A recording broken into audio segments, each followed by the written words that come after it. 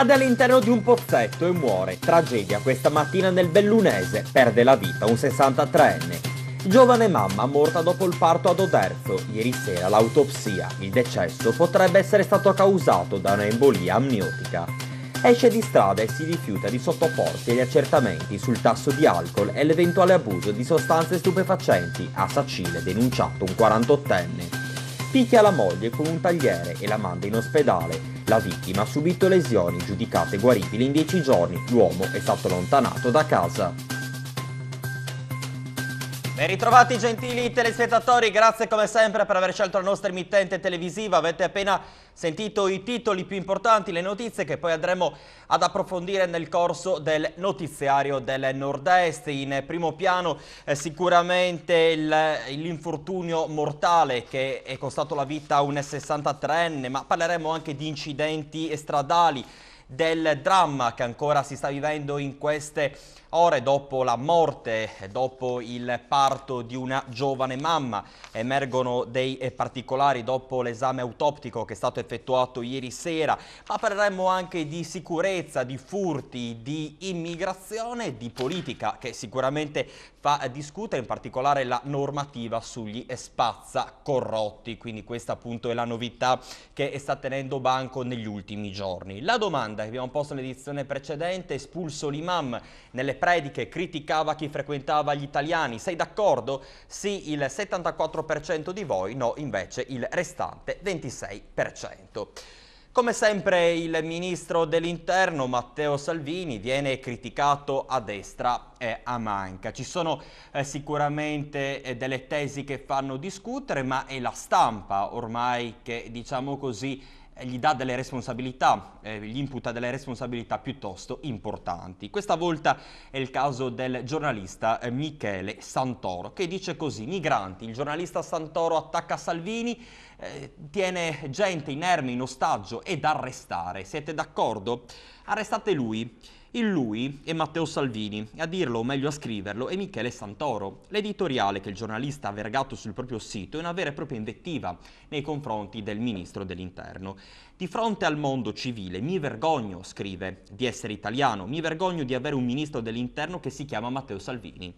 Non è il ministro della sicurezza, è il ministro della guerra civile trattiene impunemente gente inerme in ostaggio, si sostituisce ai magistrati nell'indicare reati, celebra processi sommari, pronunciando a mezzo stampa sentenze che prevedono il carcere per chi non condivide la sua disumanità. Se c'è uno che va processato è lui, se c'è uno che ha invaso la nostra vita è lui, se c'è uno che va arrestato è lui. Queste le dichiarazioni, questo è quanto scrive quindi oggi il giornalista Santoro sul proprio blog. Cosa ne pensate? Allora, migranti, eh, Santoro attacca Salvini, tiene gente inermi in ostaggio e da arrestare.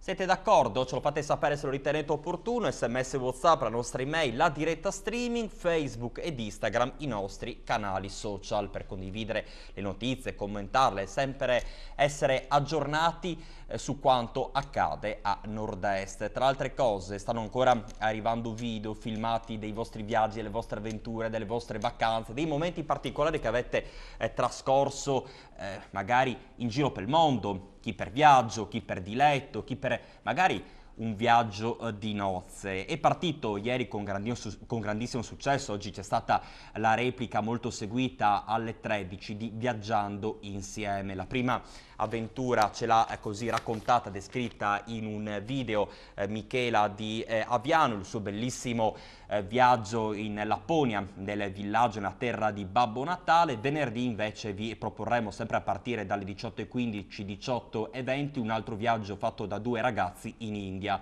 Così facendo insomma avremo eh, tante altre eh, bellissime immagini poi da proporvi nelle prossime settimane. Inviateci i vostri contenuti, i vostri video amatoriali, al montaggio ci pensiamo noi. Eh, sono venute anche persone oggi direttamente con una chiavetta, con un, eh, così, con un mezzo tecnologico col quale avete poi fatto magari delle riprese, dei video, delle immagini. Non fate altro che portarci il cellulare, il computer, eh, la handycam, la telecamera, quello che avete collegato con un cavetto eh, a partire dalle 15.30 mattina ogni giorno troverete appunto dei ragazzi che poi prendono i filmati, li portano nelle nostre eh, cartelle, nei nostri sistemi, poi sarete voi i protagonisti quindi nel raccontare il vostro viaggio dei sogni. Vi ricordo che è una sorta di eh, concorso perché poi eh, tutti questi video che poi eh, ci girate noi li montiamo facciamo dei veri e propri speciali raccontando queste vostre avventure alla fine, quindi in un periodo compreso tra settembre e ottobre, verrà estratto il video che avrà raggiunto, eh, diciamo così, eh, le grazie di voi telespettatori, quello che ha ricevuto eh, eh, maggiori consensi. I fortunati, quelli che ovviamente ce l'hanno inviato, riceveranno un eh, buono, un voucher, un omaggio, quello che eh, volete insomma così definirlo per fare un bellissimo viaggio offerto insomma da una nostra agenzia eh, partner, agenzia insomma viaggi partner che hanno appoggiato e stanno appoggiando questa nostra eh, iniziativa. Non volete portarcelo? Eh, Telepordenone ovviamente emissione chiocciola telepordenone.tv la nostra email per inviarci tutti i vostri eh, filmati. Apriamo il telegiornale, cade in un pozzetto e muore, tragedia questa mattina nel Bellunese a perdere la vita, un 63enne. Allora cominciamo così questo notiziario.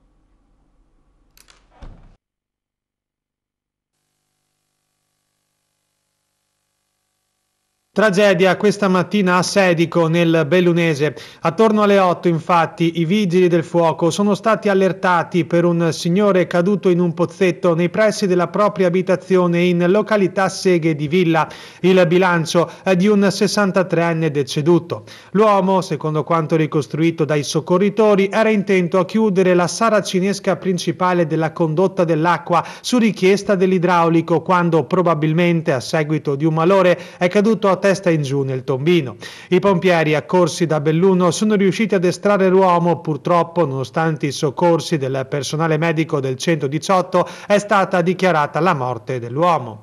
Subito dopo lo stesso personale dei vigili del fuoco ed anche del SUEM 118 si è recato sempre a Sedico in via Caldemessa per un signore ottantenne andato a sbattere con una moto ape contro ad una barriera dissuasore del parcheggio. L'uomo è stato estratto dall'abitacolo dai vigili del fuoco prima privo di segni vitali. Il personale del SUEM 118 ha praticato la rianimazione cardiopolmonare e dopo la ripresa dei segni vitali l'uomo è stato stabilizzato e trasferito in ospedale. Parliamo adesso di un pedone austriaco di 51 anni che è stato investito ieri sera a San Giorgio di Nogaro. Allora vediamo le sue condizioni nel prossimo servizio.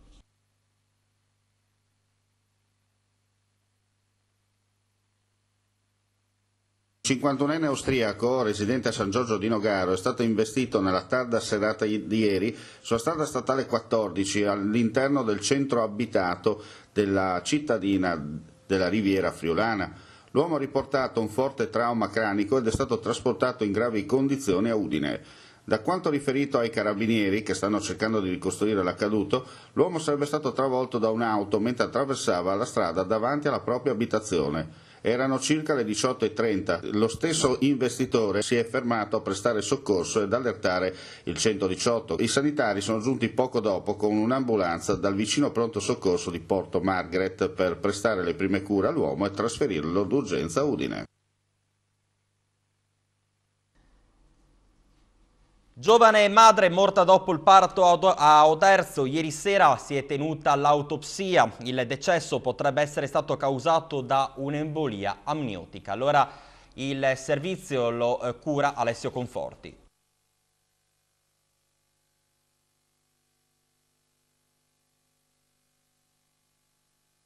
È terminata ieri in serata all'ospedale di Oderzo l'autopsia sul corpo di Francesca Schirinzi, la 34enne deceduta la scorsa settimana dopo il parto del secondo figlio, sempre nell'ospedale Opitergino dopo tre arresti cardiaci.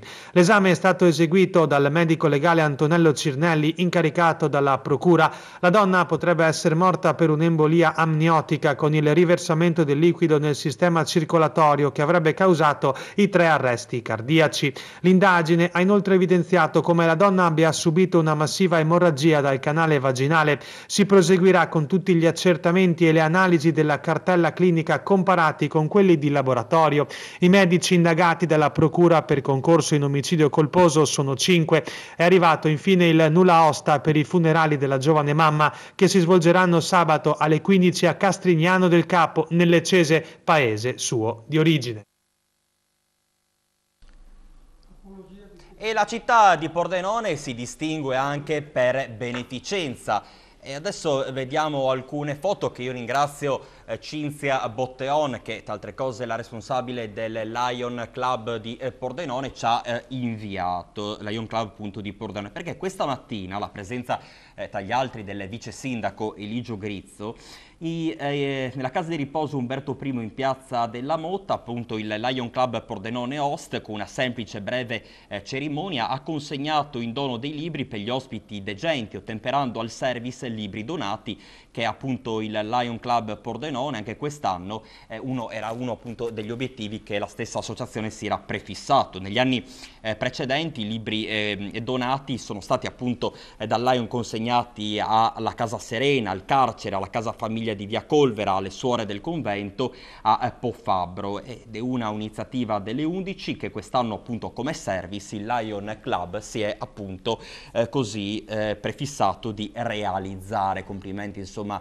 a questa eh, associazione, tra altre cose appunto nella foto vediamo oltre al eh, al presidente del Pordenone Host Fabio Simonella, Cinzia Francesca Botteon, il eh, vice sindaco Eligio Grizza, il presidente della casa di riposo Umberto I e infine appunto Andrea eh, Santarossa, de, eh, referente del Lion del service Libri Donati. Quindi insomma complimenti a eh, queste eh, persone che si spendono, insomma fanno delle iniziative a scopo benefico per tutta la comunità. Cittadino croato denunciato a Udine per maltrattamenti alla moglie, mentre a Rivignano un giovane è stato denunciato per furto di una banconota da 100 euro. Il servizio.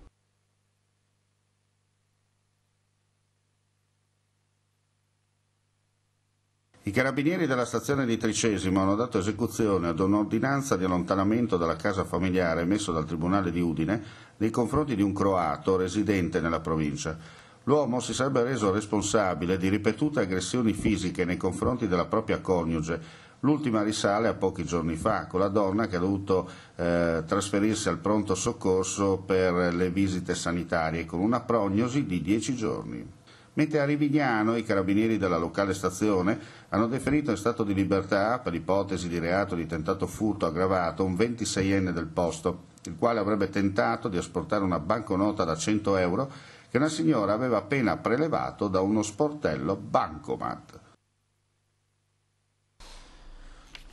Una donna di 50 anni è stata arrestata eh, questa mattina a Pordenone con le accuse di furto aggravato e indebito utilizzo di una carta di credito. Si tratta appunto di M.L, queste sono le sue iniziali, eh, cittadina italiana proprio residente a Pordenone Badante, tra altre cose di una coetanea, sempre classe 69 con dei disturbi psichici. Cosa ha fatto questa eh, Badante? Nel tempo, in un periodo compreso tra dicembre 2018 e gennaio 2018, 2019 ha prelevato indebitamente dei soldi, soldi ha prima rubato il bancomat alla amica coetanea e poi si è così no, divertita ad andare a prelevare somme per un valore complessivo di circa 1000 euro.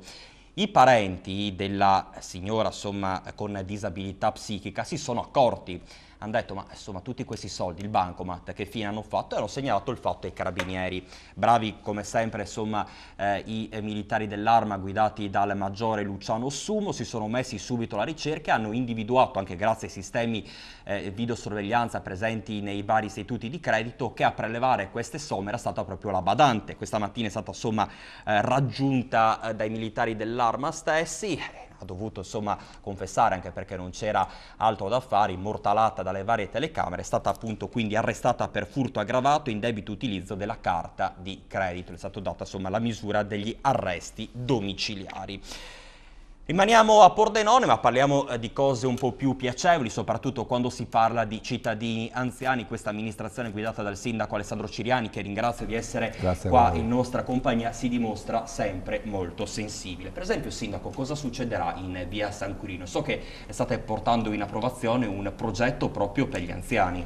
Guardi, appena mi sono insediato ho fatto fare una cosa che non è mai successa, un censimento degli immobili di proprietà del comune. Abbiamo scoperto una cosa è davvero singolare, cioè che il comune è proprietario di una serie di immobili che erano in condizioni di totale degrado.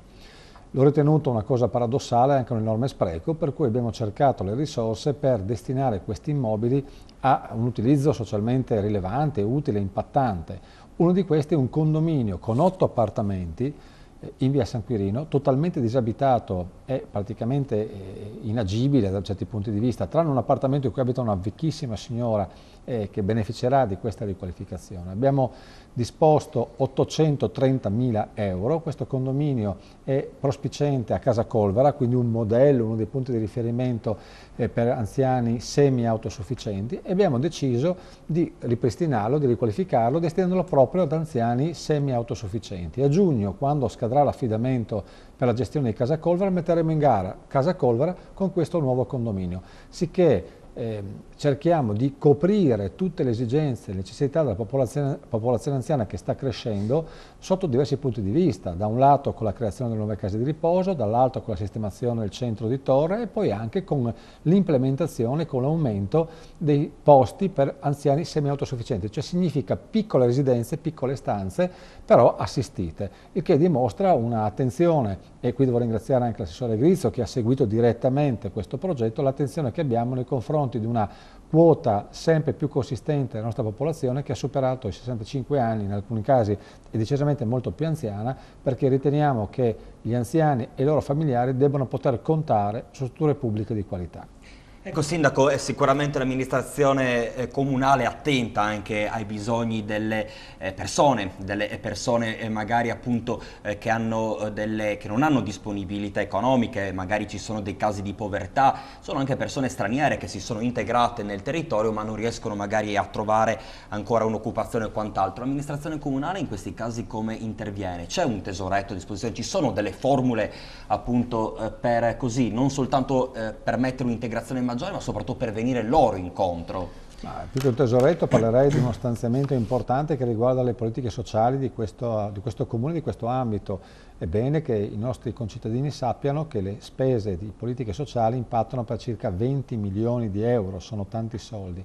È vero anche che la casistica sta aumentando perché al Comune di Padova viene chiesto di seguire il tema della dipendenza, della prevenzione dell'uso di stupefacenti nei confronti dei giovani, della marginalità sociale, dell'inclusione sociale, degli anziani, delle famiglie povere. Ci sono numerosissimi strumenti e vengono utilizzati, ci sono circa 3.500 cartelle sociali aperte nel Comune che significano 3.500 casi seguiti direttamente dai nostri servizi. Sono, sono molti, sono parecchi, non tutti con la stessa gravità, ma c'è anche un altro aspetto, che purtroppo questo numero è destinato ad aumentare perché con l'attività che svolgiamo all'interno dei quartieri, quelle che noi chiamiamo un po' le nostre eh, eh, sentinelle all'interno dei quartieri che sono operatori di strada piuttosto che operatori sociali, aumenta il numero di queste persone. È vero anche, però se mi permette qui faccio una considerazione anche di carattere politico, anche ieri mattina era un tavolo legato a emergenze di carattere eh, di integrazione sociale di persone straniere, dei figli, mi domando se spendiamo tutti questi soldi e se abbiamo necessità di completare il processo di inclusione di persone straniere che vivono qui magari da parecchi anni, se qualcuno deve porsi la domanda se ha senso richiamarne di altri. Prima magari completiamo il processo di integrazione, di inclusione, di perfetta integrazione di queste persone nel tessuto sociale, eh, sanitario, scolastico, familiare e dopodiché eventualmente apriamo le porte ad altri, altrimenti rischiamo davvero, perché nessuno lo sa, rischiamo di far esplodere la spesa sociale senza ottenere risultati significativi. Quindi esistono progetti, esistono misure, esistono finanziamenti, però occorre che il numero di queste persone non venga ad aumentare, anche perché tra queste 3.500 cartelle sociali numerose riguardano famiglie italiane che sono passate da una condizione, non dico di benessere, ma comunque di autosufficienza, a condizioni di parziale non autosufficienza legate a una famiglia che si separa, a problemi di disoccupazione, all'invecchiamento, al fatto che il figlio non trova lavoro. Ecco, tutte queste questioni portano delle famiglie non a chiedere l'elemosina perché non ne hanno bisogno, perché hanno dignità, ma sicuramente a chiedere l'aiuto del comune per integrare una parte del loro reddito. Sono considerazioni che non c'entrano nulla con il razzismo, che non c'entrano nulla con la xenofobia, ma c'entrano col buon senso e con la gestione oculata delle risorse pubbliche. Sindaco, ha, eh, ha, sentito quanto è successo oggi a San Donato Milanese, questo eh, autista senegalese che ha dirottato uno scuolabus e poi gli ha dato fuoco, voleva suicidarsi a Linate per fermare le morti nel Mediterraneo, tra altre cose è stata contestata l'aggravante del eh, terrorismo. Quindi allarme ancora e sicurezza, questa volta eh, insomma ci sono questi eh, lupi solitari che magari possono colpire in qualsiasi eh, parte d'Italia, viene probabilmente anche la problematica del problema delle risorse appunto delle persone e che vestono la divisa. È un problema che riguarda la questura di Pordenone. Raffaele Padrone è spesse volte intervenuto qua dicendo abbiamo una grossa eh, carenza di organico, si sta muovendo la politica, anche il sindaco sta facendo la propria parte. Beh guardi, io penso di essere stato uno dei pochissimi sindaci che si è recato a Roma ed è stato anche ricevuto dall'allora capo di gabinetto al Ministero degli Interni per chiedere rinforzi alla questura ed effettivamente al tempo c'era Minniti come ministro, una risposta poi si ebbe, quindi ci fu un parziale rinforzo del nostro organico. La politica non si deve fermare, deve continuare ad andare avanti, anche perché il gap, la lacuna che esiste tra il personale che dovrebbe essere in servizio e quello effettivamente in servizio è effettivamente grande.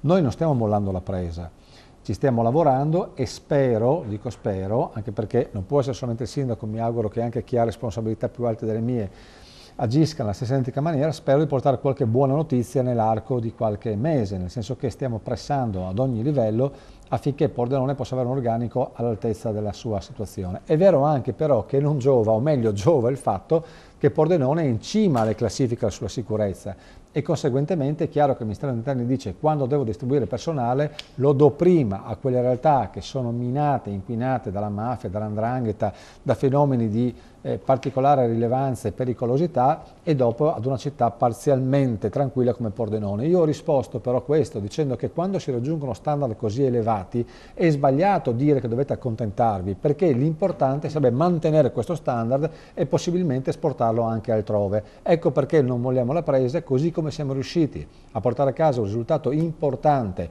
un anno, un anno e mezzo fa, continuiamo a lavorare affinché almeno una certa quota di personale che uscirà dai futuri corsi degli allievi della polizia possa arrivare a implementare il personale dell'attuale questura. Sindaco, per eh, chiudere, l'episodio di San Donato e Milanese cosa ci dice? Siamo ripiombati nell'emergenza terrorismo, anche visto poi alla luce dei fatti che si sono verificati in Nuova Zelanda, insomma queste persone che poi aprono il fuoco e non sanno davvero le ripercussioni che possono eh, fare, ma anche il caso dei morti del Mediterraneo, l'emergenza mm. eh, migranti è continua, in Friuli Venezia Giulia per o male siamo riusciti ad arginarla, invece a livello nazionale la situazione si complica un po' più difficile, soprattutto se non si trovano poi degli accordi eh, importanti con le altre nazioni, soprattutto l'Europa eh, dimostra ancora una volta di voltarci le spalle. Alcune rapide considerazioni. Il caso Pordenone è un caso direi modello, noi siamo riusciti a, ad arginare quella che era un'autentica ondata anomala di persone che sono arrivate in città e l'abbiamo totalmente normalizzata. Anche oggi un quotidiano che lei dovrebbe conoscere bene pubblicava che il modello questura, prefettura, comune di Pordenone ha funzionato benissimo al punto tale che sono diminuite le presenze e si fa un filtro netto tra coloro i quali hanno diritto di rimanere, di godere della protezione del nostro paese e coloro i quali invece questo diritto non ce l'hanno. Non solo, coloro i quali non hanno diritto e si comportano male vengono anche presi attraverso le indagini svolte dalla questura, rimpatriati o messi nei centri per i rimpatri. Il caso San Donato Milanese, il caso di un pazzo, tra l'altro gli era stata accreditata la patente, bisogna forse magari vedere chi sono le persone a cui affidiamo i nostri figli per portarli in Corriera e si legava a che cosa? Si legava ad una rivendicazione per le morti nel Mediterraneo. Ecco, l'emotività non è mai una buona alleata dei ragionamenti che riguardano fenomeni epicali come l'immigrazione. Qui occorre invece fare delle considerazioni molto più profonde che riguardano cioè lei l'Europa, che riguardano il futuro, lo sviluppo di questi paesi. L'Africa è uno dei continenti che ha il tasso di sviluppo più alto dell'intero mondo, conseguentemente qualche domanda bisogna porcela. Su tutto poi l'ultimo caso, la nave Ionio, che occupa le pagine dei giornali, che nulla ha a che vedere col salvataggio di vite umane, ma è una provocazione fatta da ex protagonisti dei centri sociali come Metz e come Casarini, che violenti nella vita politica fino a qualche tempo fa, oggi si scoprono delle verginelle dei, dai cani dimanti. Ecco, questo è assolutamente inaccettabile, perché usare vite umane come strumento di propaganda politica e quanto di più osceno e vomitevole possa esistere. Conseguentemente il fenomeno dell'immigrazione è estremamente complicato, non lo riusciremo sicuramente a sviluppare in pochi secondi, ma dobbiamo togliere le questioni emotive, eh, San Donato Milanese poteva essere una tragedia, grazie a Dio non è stata, il caso della Ionio e affrontarlo invece da un punto di vista serio. L'immigrazione anche sindaco insomma, dietro dei bambini, mi sembra è una cosa vergognosa. vergognosa. L'immigrazione è una tragedia, ma si risolve, ripeto, non trasportando un continente in Europa, ma al contrario consentendo, come abbiamo sempre detto, lo sviluppo e il fiore progressivo delle economie dei loro paesi. Io sostengo il blocco navale perché noi dobbiamo far capire a queste persone che se vengono nel nostro paese non c'è il paese di Bengodi, ma probabilmente una prospettiva prospettiva molto più triste. Al contrario l'immigrazione si gestisce a piccoli numeri e consentendo l'integrazione, cioè la piena presa di consapevolezza che se tu vieni in Italia devi sposare l'ordinamento giuridico, la cultura, le tradizioni, la storia di questo paese. Se non ti piace, questo paese è talmente libero e talmente democratico che ti può anche dire guarda se non ti piace vai da un'altra parte. Una considerazione sicuramente lecita, quella da parte del sindaco Alessandro Ciriani che ringrazio e Grazie diamo appuntamento nelle prossime edizioni. Grazie ancora sindaco Grazie per essere stato con noi. Coppia di anziani truffata e derubata in casa da un giovane. Allora il servizio.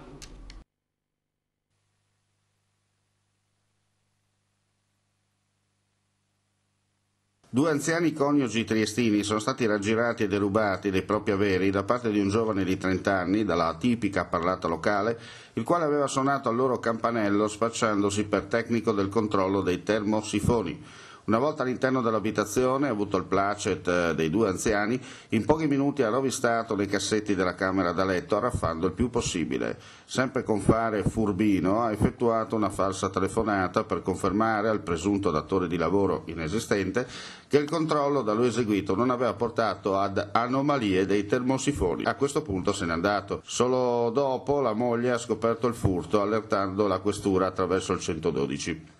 La Polizia di Stato invita a diffidare da questi comportamenti messi in atto da malviventi che cercano di carpire la fiducia di persone deboli come gli anziani o che vivono da sole per mettere in atto truffe e raggiri. In caso di sospetto chiamare immediatamente il numero d'emergenza 112.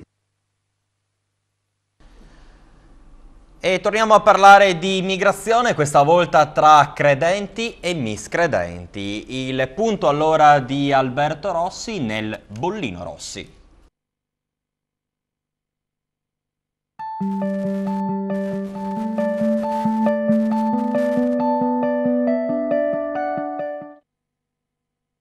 Amici di Telepordenone, buonasera.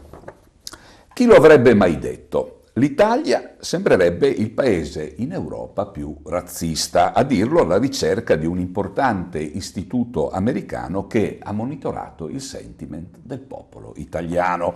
Italiani brava gente, accogliente, generosa, allegra, ospitale e intollerante. Il paese europeo più religioso ma anche il più insofferente e guarda caso l'insofferenza si nasconderebbe di più tra coloro che si dichiarano praticanti. Sembrerebbe una contraddizione, eppure i dati ci raccontano questa storia. Credenti e razzisti. L'ha capito per primo Matteo Salvini. Ve lo ricordate lo scorso anno quando in chiusura di campagna elettorale in Piazza Duomo a Milano, gremita di gente, ha giurato, brandendo in una mano la Costituzione italiana e nell'altra il Vangelo. Cesare e Dio, peccato che l'intolleranza non abbia nulla a che fare né con lui né con l'altro.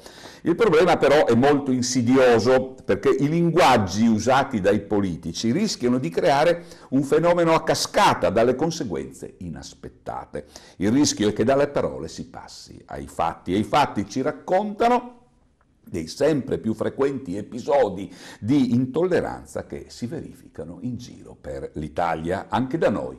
È recentemente capitato in un bar di Borgo Meduna una cittadina thailandese è stata aggredita da un avventore, insultata e schiaffeggiata senza un apparente perché, ma l'aggressore ad un certo punto ha esclamato ha ragione Salvini, devi tornare a casa tua.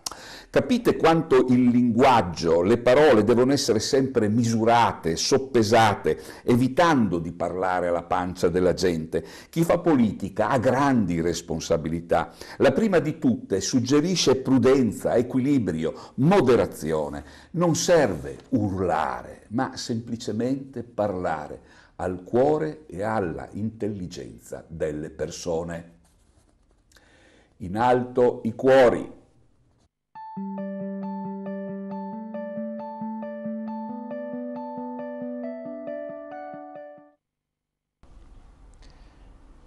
E io con Giovanni Rampogna, il cittadino che ringrazio ancora per essere in nostra compagnia, ripartirei proprio da queste affermazioni. Eh, da Alberto Rossi che dice attenzione soprattutto se si ricopre un incarico istituzionale importante come un ministro dell'interno, colui che deve garantire la sicurezza, non può utilizzare dei linguaggi così forti, aggressivi, non deve urlare e soprattutto non deve comunicare alla pancia delle persone. Lei condivide con, certo. quanto, con, quanto, dice appunto l'amico Rossi? Senz'altro, anzi rinforzo e saluto cordialmente questo intervento di Rossi, il quale affronta la problematica sociale in termini democratici e rispettosi. Ha fatto anche un buon intervento il sindaco del comune di Pordenone quando ha detto che le case vanno date alle persone che meritano di essere date per le loro eh, situazioni socio-economiche. Evidentemente qui la situazione si sta aggravando sempre più perché non il perbenismo, nemmeno il buonismo prevale. Prevale una sorta di situazione quasi di semi-abbandono della situazione. Il Presidente del Consiglio deve assolutamente prendere in mano la situazione per dare spazio alle giustezze delle rivendicazioni del popolo sull'occupazione, sulla sanità, sulla scuola. Alcune situazioni vanno senz'altro informate e messe a misura, non possiamo lasciare le cose così.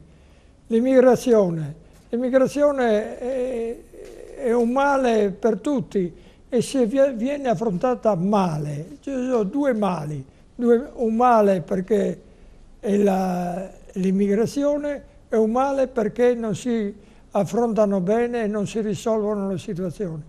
Coloro i quali entrano in queste, nella, nel nostro Stato italiano democratico, una repubblica costituzionale, che non, la Costituzione non è stata regalata, ma è stata conquistata. E voi immigrati, prendetevi la briga di comprare una nostra Costituzione. Beh, la vedo dura, eh? eh la vedo dura rampogna, eh? Sì. eh? Insomma, anche perché, insomma, abbiamo visto più volte queste cooperative che li tengono un po' fra virgolette ostaggio dei loro lavori, altre cose figuriamoci se hanno tempo di leggere la Costituzione. Eh? Mm. Eh. Non tutte le cooperative vanno, fanno quello che vogliono, però ce ne sono di quelli che hanno presidenze dallo stipendio da cifre astronomiche. Per noi che veniamo dal freddo e da lontano sappiamo a chi ci rivolgiamo, quindi dovremmo anche fare bene le cose così. E per quanto riguarda il ruolo degli immigrati nel, nel nostro Stato, devono comportarsi bene, rispettare e poi, scusatemi, chi vi parla viene dal, oltre che dal freddo anche dalla povertà più misera, più misera. Non si va all'elemosina, è offensivo per tu che la chiedi e per noi che la diamo. E io non sono un caritatevole, ma mi fa specie questa fra virgolette, fatevi spiegare il significato da qualcuno, mi rivolgo eh, appunto agli immigrati, fatevi spiegare che è una situazione offensiva, non possiamo tollerare davanti ai supermercati, alle chiese, eccetera, andare all'elemosina. Andate in comune, incazzatevi col comune che non vi dà l'assistenza democratica e sociale. Ma, ma il comune insomma dà l'assistenza a chi ne ha bisogno, a chi ha i requisiti. Eh, certo. Eh, sì, non è che può sì, dare sì. l'assistenza urbi e torbi. No, eh. Però abbiamo queste realtà. L'elemosina non è una ricchezza, l'elemosina è un'offesa per i cittadini E quindi? Vecchio, alza la testa, che il potere te la rompe. Grazie come sempre all'amico Giovanni Rampogna, ci vedremo nei prossimi appuntamenti, non mi scuso, ho dovuto puntualizzare a onore del vero sei requisiti, ah, accedi al canale dell'assistenza, se non hai i requisiti e le carte in regola mm. è perché il comune deve darti assistenza, so, ci sono altre eh, realtà che possono fare al tuo caso, poi insomma approfondiremo comunque in altre occasioni. Esce di strada e si rifiuta di sottoporsi agli accertamenti sul tasso di alcol e l'eventuale abuso di sostanze stupefacenti e stupefacenti a Sacile viene denunciato un 48enne. Il servizio Un 48enne di Fontana Fredda è stato denunciato dai carabinieri dell'aliquota radiomobile di Sacile per essersi rifiutato di effettuare gli accertamenti sul tasso di alcolemia e l'eventuale abuso di sostanze stupefacenti, reati previsti dagli articoli 186 e 187 del codice della strada. Il fatto è accaduto poco dopo la mezzanotte dello scorso 18 marzo. Secondo quanto ricostruito dai militari dell'arma, l'uomo era uscito autonomamente di strada con la propria vettura, un Alfa Romeo 156 in via Fratelli Rossetti a Sacile. Giunti sul posto i carabinieri si sono accorti di come l'uomo, seppur incolume, evidenziasse sintomi da abuso di sostanze alcoliche. Lo stesso ha riferito di come non disponesse della patente di guida poiché revocatagli due anni prima. Invitato a sottoporsi ad accertamento, il 48enne si è rifiutato categoricamente, venendo alla fine denunciato. L'auto è stata recuperata dal soccorso stradale. Il rifiuto di sottoporsi ad accertamenti equivale, fanno sapere i militari dell'arma, arma ad autonome ipotesi delittuose inerenti sia alla violazione per guida sotto l'influenza di stupefacenti che sotto la guida di sostanze alcoliche, peraltro con valori di alcolemia pari a 1,5 grammi per litro di sangue. Cerimonia di consegna stamattina alla presenza del direttore generale dell'azienda per assistenza sanitaria 5 del Friuli occidentale Giorgio Simone, della direttrice amministrativa Lorena Basso nel servizio di neurofisiopatologia della struttura complessa di neurologia dell'ospedale Santa Maria degli Angeli di Pordenone, diretta dal dottor Paolo Passadore, di un elettromiografo, strumento fondamentale per la diagnosi nell'ambito delle malattie neuromuscolari, donazione dell'ingegner Luigi Cimolai, presidente di Cimolai SPA, rappresentata dalla dottoressa Kira De Pellegrin. L'apparecchio consente di effettuare una completa ed approfondita batteria di test di diagnostici neurofisiologici nello specifico analizza alterazioni dell'unità motoria mediante ago-elettrodo, verifica alterazioni della conduzione sensitiva e, mo e motoria dei tronchi nervosi, studia la velocità di conduzione midollare con potenziali evocati eh, sensitivi o motori. Le malattie neuromuscolari sono caratterizzate da forme che interessano principalmente i corpi cellulari, le fibre nervose del muscolo. I distretti muscolari coinvolti e le funzioni deficitarie dipendono dal tipo di patologia neuromuscolare, ad esempio appunto dal difetto di eh, prensione appunto della mano alla difficoltà di camminare o salire le scale fino all'insufficienza respiratoria per deficit dei muscoli respiratori. C'è un'alleanza auspicabile con il privato che può contribuire a rendere possibile un salto di qualità alla società, perché la salute non può essere solo un servizio al quale rivolgersi in caso di bisogno, ma deve essere un patrimonio condiviso che aiuta la società a prendere consapevolezza, eh, appunto in quanto garantire assistenza a tutti sia un'evidenza di coscienza civile. Ho detto il vicepresidente assessore alla salute Riccardo Riccardi, esprimendo il suo personale ringraziamento per la donazione effettuata quest'oggi dalla Cimolai SPA, come vedete tra altre cose in queste eh, immagini, in queste foto che sono state direttamente trasferite dall'azienda sanitaria 5 del Friuli occidentale. Strutture sicuramente all'avanguardia, lavori nei, nei presidi ospedalieri a Samito al Tagliamento, a Pordenone, Valerio Delle Fratte, consigliere comunale a Samito al Tagliamento e tra altre cose anche medico. Bastano eh, questi lavori o bisogna andare oltre per avere una sanità migliore nella nostra regione ma soprattutto nel Friuli occidentale?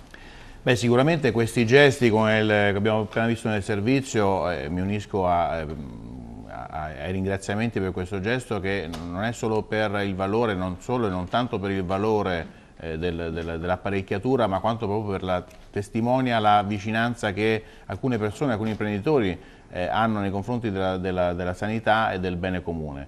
Eh, sappiamo che le strutture non sono eh, l'unica eh, arma che abbiamo per garantire un invecchiamento eh, di qualità, eh, la salute nel momento in cui c'è bisogno di un ricovero eh, per le persone, per i nostri concittadini.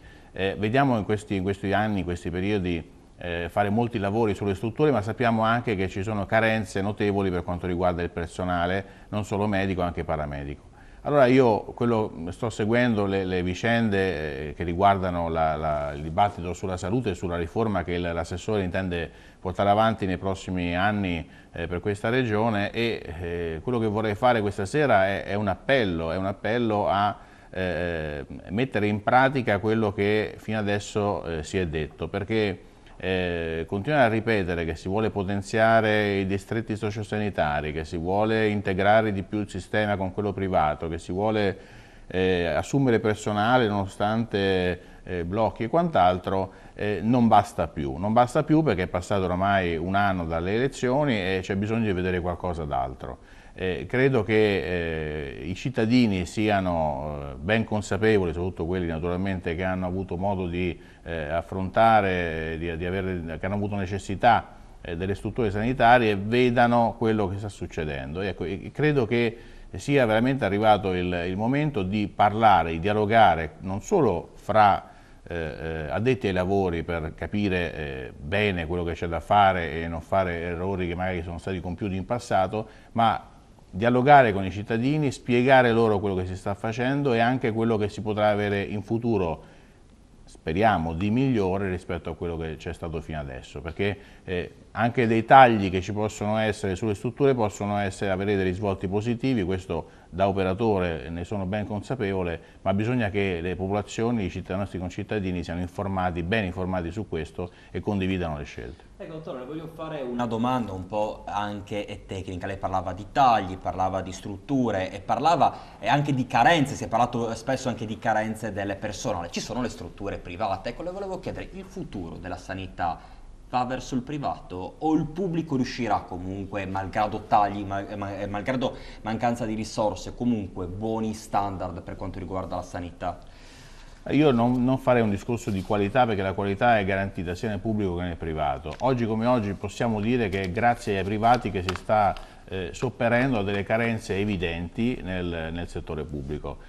Bisogna trovare la quadra, bisogna trovare il, il, giusto compromesso fra integrazione fra pubblico e privato perché eh, non, non, si può oramai prescindere da questo, sempre più spesso, l'abbiamo visto anche eh, nel, nella questione delle pensioni, diciamo, lo Stato è stato costretto a eh, indirizzare i, i propri i cittadini, quindi eh, gli italiani, verso forme di eh, previdenza anche diverse da quelle che, tradizionali, lo stesso avverrà per la sanità. Questo è imprescindibile perché altrimenti i conti non torneranno. La popolazione sta invecchiando sempre di più, eh, troppa poca gente lavora, troppa poca gente contribuisce anche eh, con le proprie tasse, quelli che pagano le tasse ne pagano troppe e quindi questo causa un, un cortocircuito nel sistema, quindi è evidente, è più che evidente che l'integrazione tra pubblico e privato sarà assolutamente indispensabile e quindi ben vengano gli imprenditori privati che in questa fase sono stati assolutamente, eh, hanno avuto un'azione meritoria, sono stati molto in gamba nel, nel permettere anche a, a, a, tutti quanti, quindi anche tenendo le tariffe in un certo modo, di, di, di, accedere a servizi che altrimenti sarebbero stati di molto posticipati o addirittura inaccessibili. Grazie davvero al dottore Valerio Delle Fratte che tante cose consigliere comunale in quel di San Vito al Tagliamento. Grazie, Grazie ancora per essere stato con noi. Furti in abitazione nella notte a Caneva, sui singoli casi indagano i carabinieri. Tre tentati furti e due andati a segno in poche ore. È il bilancio dell'ultima nottata a Caneva. I carabinieri della locale stazione stanno infatti indagando sugli episodi denunciati questa mattina da alcuni residenti. In via Perina, nell'abitazione di un'ottantenne vedova, i ladri, entrati dal garage lasciato aperto e comunicante con l'interno casa, sono riusciti a portar via denaro in contante per 170 euro, monili d'oro di scarso valore e generi alimentari come banane, prosciutto e latte In via Turati, sempre a Caneva, i malviventi attorno alle 3.25 del mattino hanno cercato di entrare nell'abitazione di un imprenditore di 55 anni mediante la tecnica del foro su infisso in legno, ma sono stati messi in fuga dal proprietario attirato dal rumore del trapano a batteria. In via Perina invece i gnoti si sono introdotti a casa di un'operaia di 53 anni rompendo il cilindro della serratura della porta e facendo sparire 120 euro. In via Borgo Masutti a casa di un 82enne pensionato i viventi hanno invece tentato di rompere la porta d'ingresso, non riuscendoci a causa di alcuni chiavistelli interni. Infine, in via Pradego, tra le 2.30 e le 3 del mattino, è stato tentato nuovamente un accesso ad un casolare disabitato situato nelle pertinenze di un'abitazione dove vi era una ventottenne barista. I ladri non sono riusciti ad asportare nulla. I fenomeni predatori in provincia non finiscono qui. Nella notte tra il 16 e il 17 marzo, infatti, a Prata di Pordenone, in via Opitergina, ignoti si sono introdotti al Music Bar, locale gestito da un 34enne cinese. Dopo aver scassinato le slot machine, sono riusciti a portare via oltre 2000 euro. In questo caso indagano i carabinieri di Prata di Pordenone. Apriamo adesso un nuovo spazio, una finestra culturale e vi eh, propongo un servizio che riguarda una mostra che è stata inaugurata al Parco Galvani a Pordenone e poi gli amici del Festival Internazionale del Film, due ospiti. Avete presente le magnifiche illustrazioni di infanzia di Sarmede? Ebbene, fino al 14 aprile sono ospitate a Pordenone al Palazzo del Fumetto di Parco Galvani. 90 le opere provenienti dalla mostra internazionale Le immagini della fantasia, firmate dai migliori illustratori per bambini. A organizzare l'esposizione la cooperativa Melarancia nell'ambito della rassegna Fiaba Libera Tutti. Per asili e scuole elementari e medie vengono organizzate visite guidate e laboratori creativi e artistici, dal bricolage alle bolle di sapone. I laboratori sono dei laboratori interattivi in cui si propone prima la visita alla mostra in maniera interattiva e ludica per poi passare alla parte laboratoriale che si basa comunque sulle opere illustrate, le opere presenti in mostra. Quei laboratori in cosa consistono? Allora, sono laboratori che si basano sulle storie che sono raffigurate nelle immagini di Sarmede e sono laboratori artistici, laboratori con materiali di recupero, laboratori eh, che si basano sul collage e anche c'è una parte dedicata alle bolle di sapone che eh, colorate eh, trasformano il foglio, lo, lo colorano eh, per poi appunto elaborare un disegno basato sulle opere. Questo anche con un fine didattico ovviamente. Assolutamente, e il tema di quest'anno della rassegna è la trasformazione, quindi l'obiettivo anche un po' del, del, nostro lavoro che non è solo artistico ma anche pedagogico è dare la possibilità al bambino di trasformare quello che è l'ambiente circostante attraverso i materiali e gli strumenti che gli vengono dati durante il laboratorio e con la creatività e immaginazione creare un'opera. L'iniziativa è sostenuta dal comune di Pordenone. Questa è la quarta mostra che realizziamo insieme a Melarancia, che è uno dei pilastri educativi eh, della nostra città. Significa dare spazio ai bambini alla creatività, modelli educativi, a corsi di pedagogia, attività di formazione professionale, perché questo spazio essere dedicato a tutti, in particolare ai bambini e ai genitori. Per iscrizioni ai laboratori e informazioni sulla mostra si possono visitare i siti di Melarancia e del PAF. Iniziativa sicuramente rivolta ai bambini, ai ragazzi, come ragazzi sono protagonisti della seconda edizione del Festival Internazionale del Film. Io ringrazio due amici, oltre ad essere insomma eh, due persone che veramente vivono a 360 gradi eh, questo tipo di eh, progetto. Il dottor Alessandro Varisco, tra altre cose il direttore del Festival Internazionale del Film e il dottor Nevio Zorzetto che è responsabile del progetto Alternanza Scuola eh, Lavoro e anche organizzatore della Kermesse. Grazie ancora ad entrambi perché dal 27 al 30, eh, dottor Varisco, torniamo con questo appuntamento. Dopo il debutto fortunato l'anno scorso si ritorna appunto con il Festival Internazionale del Film. Ci vuole inquadrare un po' l'iniziativa? Grazie direttore, torniamo con la seconda edizione dopo, come diceva lei, il successo dell'anno scorso. Eh, quest'anno eh, il festival, il PIF, Pordenone International Film Festival, eh, ha sicuramente un valore aggiunto perché abbiamo sicuramente molti più film in concorso, un concorso aperto a tutte le scuole d'Italia e non solo, anche ai registi eh, del mondo. Sono arrivati in concorso 156 film da 22 paesi di tutto il mondo. Caspita. Eh sì, eh, il tema... Un bel risultato anche perché vuol dire che il progetto funziona va, e soprattutto ha avuto una visibilità giusta. Ha avuto una visibilità giusta perché siamo stati invitati, io e il collega che è qui con me, al Festival del Cinema di Berlino dove abbiamo potuto eh, presentare il progetto davanti a tutto il mondo cinematografico che era lì eh, in quell'occasione. Eh, il, il, PIF quest'anno, come l'anno scorso, si è dedicato di, eh, al tema del bullismo, della violenza sulle donne, quest'anno invece affronterà il delicato tema delle dipendenze in tutte le sue più ampie eccezioni.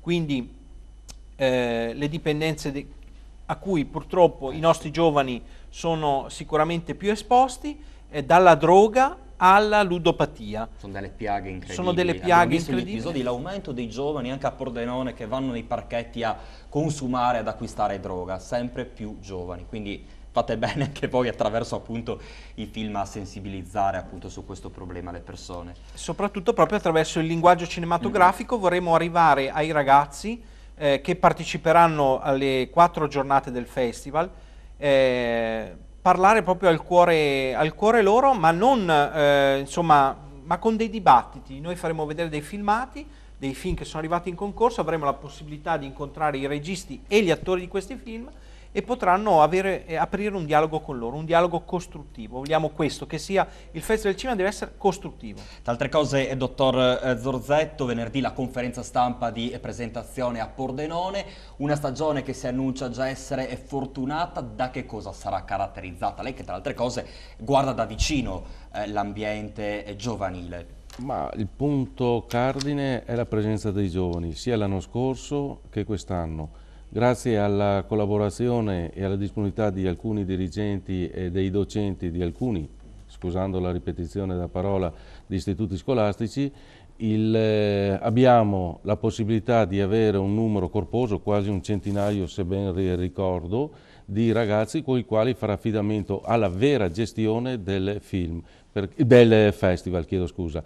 E collaborano alla selezione dei film, alla gestione proprio concreta del festival, quindi mm, secondo me un grosso, un grosso riflettore deve essere rivolto a loro. E poi soprattutto anche le dipendenze, come già sono Ovviamente sono le dipendenze. vere e proprie piaghe che in tutti i modi devono essere debellate e contrastate. Certamente sì, noi vogliamo dare dei punti di riflessione, non vogliamo assolutamente eh, prenderci degli incarichi che non abbiamo la competenza di farla, però il fatto stesso che per ben già due anni, il prossimo anno è già eh, ovviamente un focus già eh, deciso, eh, toccare queste problematiche significa che secondo noi, e secondo noi intendo tutto lo staff ovviamente del PIF, siamo sensibili alle stesse.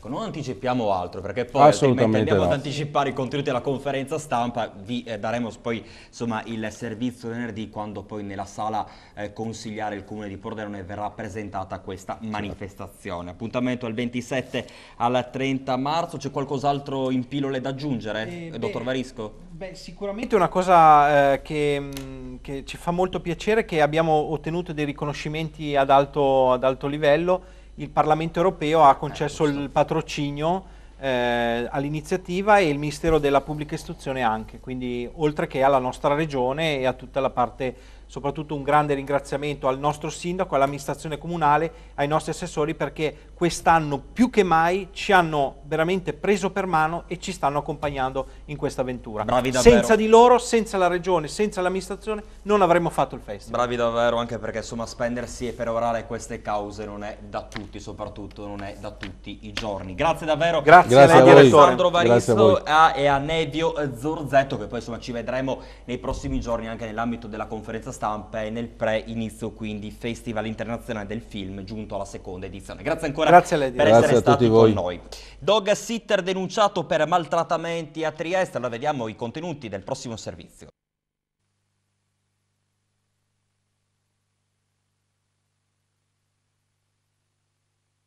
Incredibile a Trieste.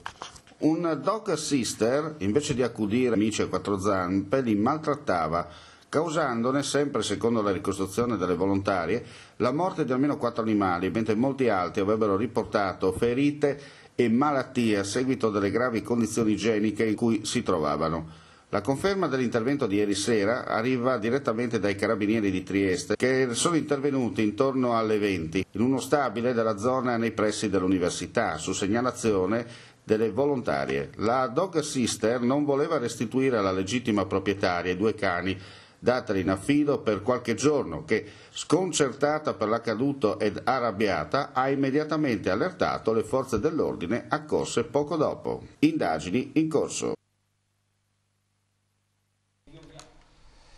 Andiamo in Veneto, allora vediamo se c'è l'ospite di Alessio Conforti, mi sembra che si tratterà proprio di un molto, eh, di un tema molto importante come quello dell'ambiente. Sì, anche perché torniamo a parlare Alberto eh, della manifestazione sul clima dei giorni scorsi, anche perché continua eh, l'eco e, e, di fatto anche eh, le prese di posizione, eh, quella che è, eh, di fatto, quello che è di fatto un monito eh, deve per forza farci riflettere sui cambiamenti climatici ed anche insomma sulla necessità di cambiare gli stili di vita. Giorgio Barro, ce la faremo? Allora, beh, innanzitutto partiamo da una considerazione importante.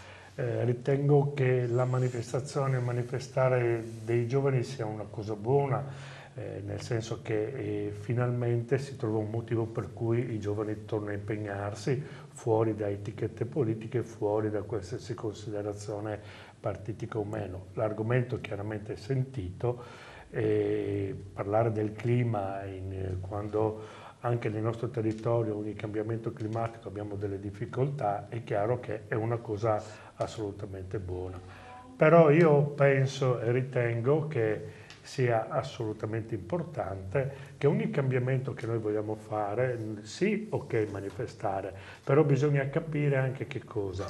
Capire cosa siamo disposti a noi a fare, perché la domanda che eh, mi rivolgo prima a me stesso mm. chiaramente e poi anche a tutti i giovani che hanno avuto questa attenzione e ai meno giovani che erano insieme con loro è personalmente cosa sono veramente disposto a fare, eh, a fare perché il clima torni a un clima migliore. Ecco che qua la domanda che mi pongo è sono disposto a fare un passo indietro con la mia tecnologia, nel senso questo telefonino qua, se anche non ha rete, non è che mi arrabbio tanto se non ho l'antenna sopra casa, non possiamo avere l'antenna sopra casa, parlare di inquinamento elettromagnetico e poi lamentarsi che non abbiamo segnale. Un esempio, siamo disposti a non lamentarsi se non c'è in caldo in casa, nel senso di avere un grado o due di temperatura di riscaldamento in meno, se cominciamo, perché questi sono piccoli gesti, un altro ah, piccolo sì. gesto è riusciamo ad avere una macchina senza l'aria condizionato, un negozio senza aria condizionato,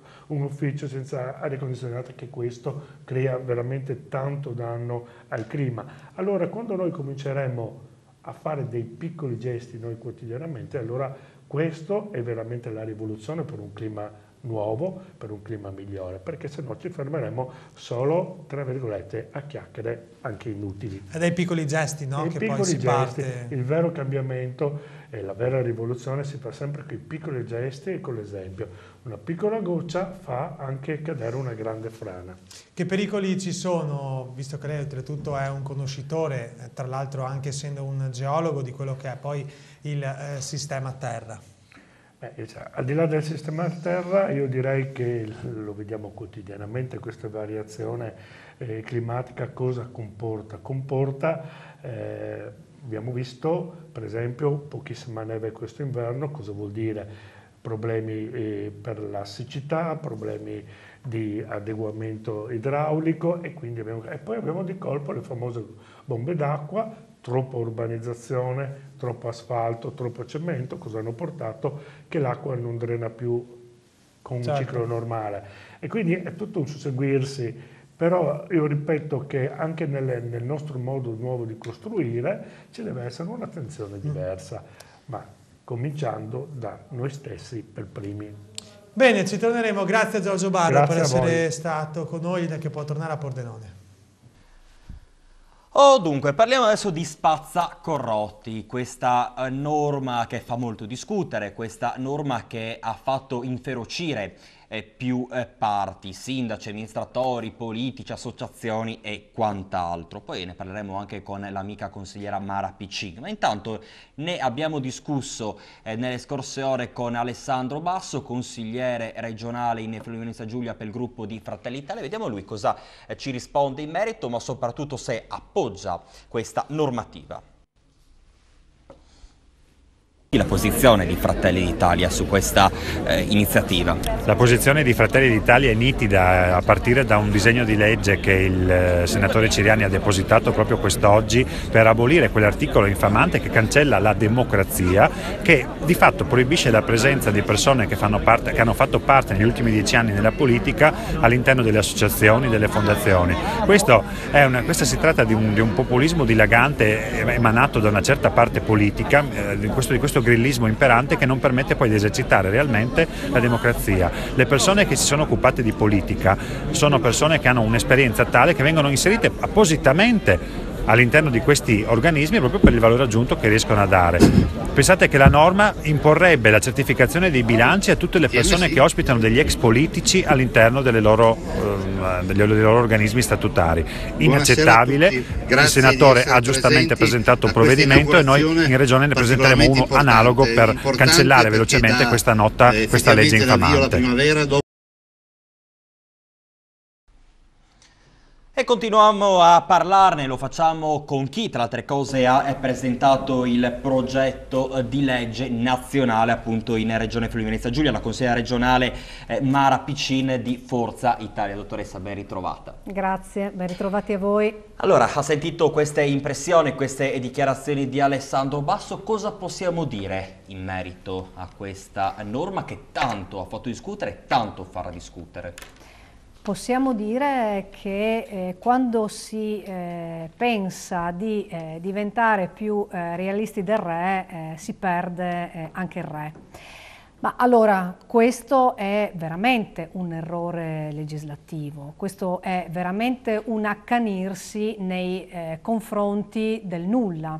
Allora, riassumendo, io coordinata poi dai nostri parlamentari, io come eh, gruppo di Forza Italia in Consiglio regionale assieme ai colleghi consiglieri e assieme poi ai parlamentari del, eh, della nostra regione, all'onorevole Savino, all'onorevole Novelli e al senatore Dalmas, che eh, presenteranno appositi eh, provvedimenti.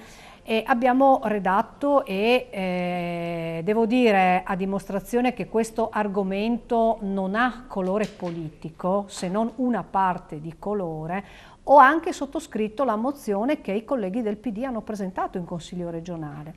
Perché, vedete, non è pensabile dire che se all'interno, prendiamo uno dei eh, nostri comuni, dei comuni più piccoli della, della nostra ex provincia, se in un comune di montagna eh, dove ci sono 300 persone e dove c'è una persona che da 8 anni o da 9 anni non fa più il consigliere comunale, ma lo ha fatto 9 anni prima e attualmente fa parte del proloco del paese che organizza eh, la manifestazione una volta l'anno eh, piuttosto che una sagra tradizionale magari centenaria. Sì, fa parte... La festa della pittina, no? Mettiamo la festa della pittina andare, piuttosto ecco, che magari... Senza fare riferimenti, però ecco, per far capire ecco, al, per far al telespettatore. Capire, eh, significa che la presenza di questa persona all'interno dell'associazione fa sì che l'associazione debba rispettare i parametri di trasparenza di un partito politico. Quindi significa che servono certificazioni esterne per i bilanci che muovono più di 5.000 euro, tanto per essere chiari. Allora, io credo che questo sia un insulto al volontariato, al no profit, alle tante persone che si sono occupate della cosa pubblica, che vorrei ricordare non è una cosa sporca. La cosa pubblica, il consiglio comunale, soprattutto nei piccoli comuni, ma anche nei grandi, è una funzione ed è una missione rispetto alla quale un cittadino si pone di fronte alla società. E io aggiungo che mi piacerebbe che tutti nella loro vita facessero un'esperienza di consigliere comunale o di maggioranza o di opposizione. Così, eh, caro direttore, ci si rende conto che si vanno a trattare e a toccare veramente fino in fondo i, i problemi e le tematiche più piccole della, eh, della, della, della, eh, della società e delle persone che ci vivono attorno. Allora io credo che, come ho esordito, questo sia un errore, un grossolano errore legislativo. Chi governa non può calare la eh, realtà di grandissime città, magari anche di altre latitudini dove la criminalità dilaga, dilaga al nord e al sud, ma magari, perdonatemi, in alcune zone Lago dilaga... è più spostato eh, magari, magari dilaga parte, un po' certo. di più, non si possono paragonare grandi realtà di milioni di abitanti a piccoli comuni che hanno 200 o 300 persone. Ci vuole un distinguo, bisogna essere seri nell'affrontare queste problematiche. È giusto combattere la corruzione, ma è altrettanto giusto dare la possibilità a chi si è sempre occupato della, eh, propria, della propria comunità di continuare a farlo senza poi dover avere un aggravio in termini di costo e di burocrazia per le piccole associazioni e per questi enti no profit. Ma ne continueremo sicuramente a, a parlare. Grazie davvero alla dottoressa Mara Piccine, consigliera regionale in Friuli Venezia Giulia per Forza Italia. L'aspettiamo poi nelle prossime edizioni del nostro telegiornale. Certamente. Nei giorni scorsi abbiamo parlato anche di Pordenone, Pordenone che cambia, che sta cambiando ma soprattutto che cambierà. Cambierà anche dal punto di vista della viabilità. Abbiamo discusso ieri sera con l'assessore Cristina Mirante, con il consigliere di maggioranza Mattia Tirelli del PUMS, insomma eh, di questo eh, piano della eh, mobilità eh, che insomma eh, dimostra eh, come ci siano appunto delle necessità, necessità ovviamente da portare avanti, da perorare per eh, così modificare l'assetto appunto viario della città stessa. Ne parliamo perché è giusto anche parlarne con un consigliere di eh, minoranza a Pordenone eh, che eh, insomma fa capo alla civica Pordenone 1291 ma soprattutto anche esponente di Vivo Pordenone. Non c'è Alvaro Cardin, allora so, giustamente il passaggio del testimone è lecito. Eh, dottor Roberto Freschi, ben ritrovato, grazie per essere in nostra compagnia. Grazie direttore. Senta, allora, ultimo consiglio comunale, si è parlato di molti temi, la viabilità, viabilità a 360 gradi che riguarda la città ma che riguarda anche l'interland eh, di eh, Pordenone. Che situazione vede all'orizzonte ma soprattutto giuste le decisioni che questa maggioranza sta portando avanti? Allora, eh, diciamo che c'è un, eh, un, punto focale che forse è una contraddizione di fondo. E, mh, quest, la, la, maggioranza ha presentato lunedì in Consiglio il eh, piano, eh, il, il PUMS, nel, nel, nel senso del piano di dettaglio del PUMS, cioè si prende in considerazione una zona della città e specificatamente eh, la zona del ring, una parte del ring soprattutto. Però eh, facendo un'affermazione che l'attuale PUMS, cioè quello vigente, eh, approvato nel 2015, dovrà essere rivisto. Mm, diciamo che il punto eh, critico è un po' questo, cioè noi ci saremmo aspettati una revisione del PUMS, visto che questa amministrazione dice che il PUMS, precedente eh, non risponde a quelli che sono gli obiettivi, a quelle che sono le strategie della, della, della nuova amministrazione, ma vorrebbe cambiarlo. E pertanto mh, mm, ci troviamo con questa contraddizione che la cornice generale non è pronta, cioè diciamo lavoriamo sulla cornice precedente, però entriamo nel dettaglio e, e si vanno a toccare alcuni punti del, del, ring. Allora, ci sono alcuni aspetti che erano già previsti, come ad esempio il tratto, il doppio senso in Viale Marconi, il tratto che va da Largo San Giovanni a Piazza Duca d'Osta.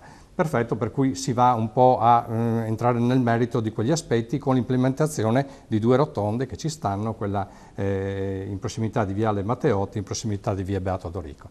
Ora, mh, però il, il problema è che si va a toccare una parte della città ehm, senza prendere in considerazione in questa fase che entrando nel merito di, quelle, di, quelle, di quell'ambito eh, ci sono dei flussi di traffico che andranno a spostarsi da altre parti. Siccome il traffico non diminuisce ma si sposta, eh, a nostro avviso e qui è un passaggio che, che, ho fatto in Consiglio Comunale specificatamente, ho chiesto che si pensi in qualche modo a eh, sistemare la situazione di Viale Grigoletti, di Viale Venezia, della Ponte Bani in genere, sostituendo gli attuali semafori che ci sono con delle rotatorie, perché se il traffico si deve spostare, deve essere, le altre arterie devono essere in grado di poter supportare una mole diversa di, eh, di, di flussi.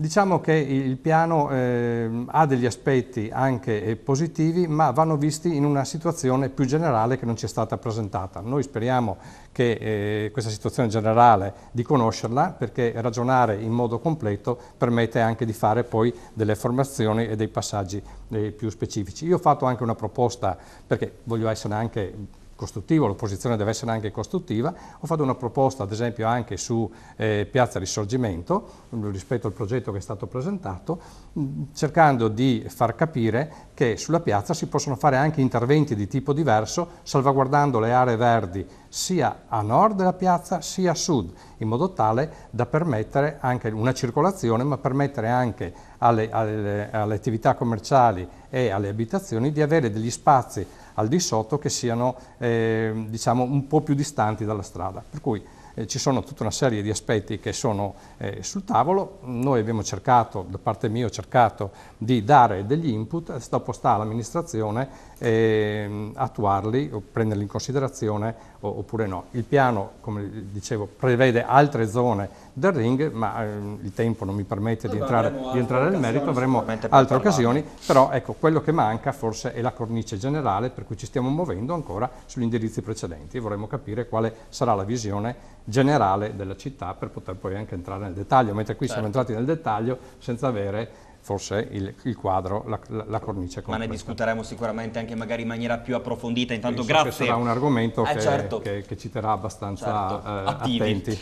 Grazie, Grazie al dottore Roberto Freschi, dirigente di Vivo Pordenone e consigliere comunale a Pordenone. Andiamo in Veneto e poi torniamo a Pordenone per concludere questa primissima parte. Con Mattia Lenardon eh, di Forza Italia Porto Gruaro perché si parla tanto di partiti però eh, è giusto anche fare le riflessioni sulle liste civiche perché eh, da più parti insomma si sente dire che a livello generale ovviamente i partiti sono una cosa, le liste civiche sono un'altra ma insomma eh, da capire se sono un ruolo di supporto ai partiti Lenardon oppure se possono essere dei veri e propri eh, motori di certo. cambiamento. Sappiamo bene la storia di Portogruaro, le liste civiche sono sempre state eh, la, la, prima importanza, sono sempre state delle liste civiche molto forti, sia che riguardi la sinistra che sia che riguardi la destra. Noi come Forza Italia abbiamo aperto alle liste civiche un confronto perché i temi sono importanti e soprattutto portiamo avanti quelle che sono le esigenze di, di molte di queste liste civiche. E quindi un confronto eh, vero sui temi attuali di politica di Portogruaro e le esigenze che ci sono qui secondo me sono importanti e secondo me importante affrontarlo con quelle che è la gran parte del territorio, laddove non, arri non arriva un partito e arriva la lista civica, possiamo esprimere e portare avanti un problema e risolverlo al meglio, secondo me. Al di là insomma, di quelli che possono essere gli scenari, eh, la lista civica eh, può rappresentare eh, un quid in più, un qualcosa in più o secondo lei da qui ai prossimi mesi visto anche come andranno le elezioni europee, saranno sempre i partiti ad essere determinanti? No, le, i partiti avranno sicuramente un peso molto importante, però la lista civica è sempre riuscita a dare, nello storico di Portogruaro, è sempre riuscita a dare quel qualcosa in più, quel qualcosa che ti porta eh, verso un obiettivo, verso il risultato dell'obiettivo che avevi fissato. Abbiamo l'ultimo esempio delle ultime, delle, di queste ultime amministrative che sono state svolte a Portogruaro. La lista civica ha portato la, la differenza. Lista civica però che era anche sostenuta eh, in, questo, in, quel caso dai, dai, partiti. Quindi torniamo sempre al discorso di prima di fatto. Certo. Un'aggregazione che può essere determinata. Un'aggregazione importante e che eh, serve, serve soprattutto nel, nel territorio locale perché si riesce ad avere un, sia un maggiore consenso ma soprattutto una miglior capillarità sui problemi del territorio. 30 secondi, Forza Italia come si risolleva in vista delle europee? Forza Italia si risolleva, sta lavorando molto molto bene e avremo ottimi risultati. Ovviamente non potrebbe dire altrimenti lei. Ma lo, che... scenario, lo scenario politico lo stiamo vivendo... Però i sondaggi non, insomma poi raccontano anche Avremo diverse. delle sorprese. Mm. Staremo a vedere. Grazie per essere stato con noi, Linea che può tornare a Pordenone. Parliamo adesso di femminicidi, purtroppo un'altra piaga che riguarda non soltanto l'Italia ma riguarda un po' tutto il mondo. Tra altre cose altri episodi si sono verificati anche oggi, ieri tra Milano e altre aree eh, d'Italia. Io chiedo a Margherita Cusine del Codacons del Friuli che ringrazio, grazie avvocato per essere in nostra compagnia. Si sta facendo abbastanza per contrastare questo fenomeno? Allora, eh, sì, dal punto di vista normativo abbiamo comunque dei buoni strumenti per affrontare il problema, si potrebbe fare di più. In particolare eh, diamo un po' di, di, numeri, di dati, perché eh, se ne parla ovviamente tanto ed è giusto che ci sia eh, attenzione, però anche gli scorsi episodi delle ultime due sentenze del Tribunale di Genova e di Rimini sono state riportate dai mezzi di stampa in maniera non completamente corretta quindi si rischia di fare dare un'informazione non totalmente positiva. Eh, I reati di femminicidio stanno aumentando, stanno diminuendo, allora eh, stanno eh, diminuendo così come eh, gli omicidi. circa si calcola un quarto degli omicidi totali avviene nei confronti e contro eh, le donne.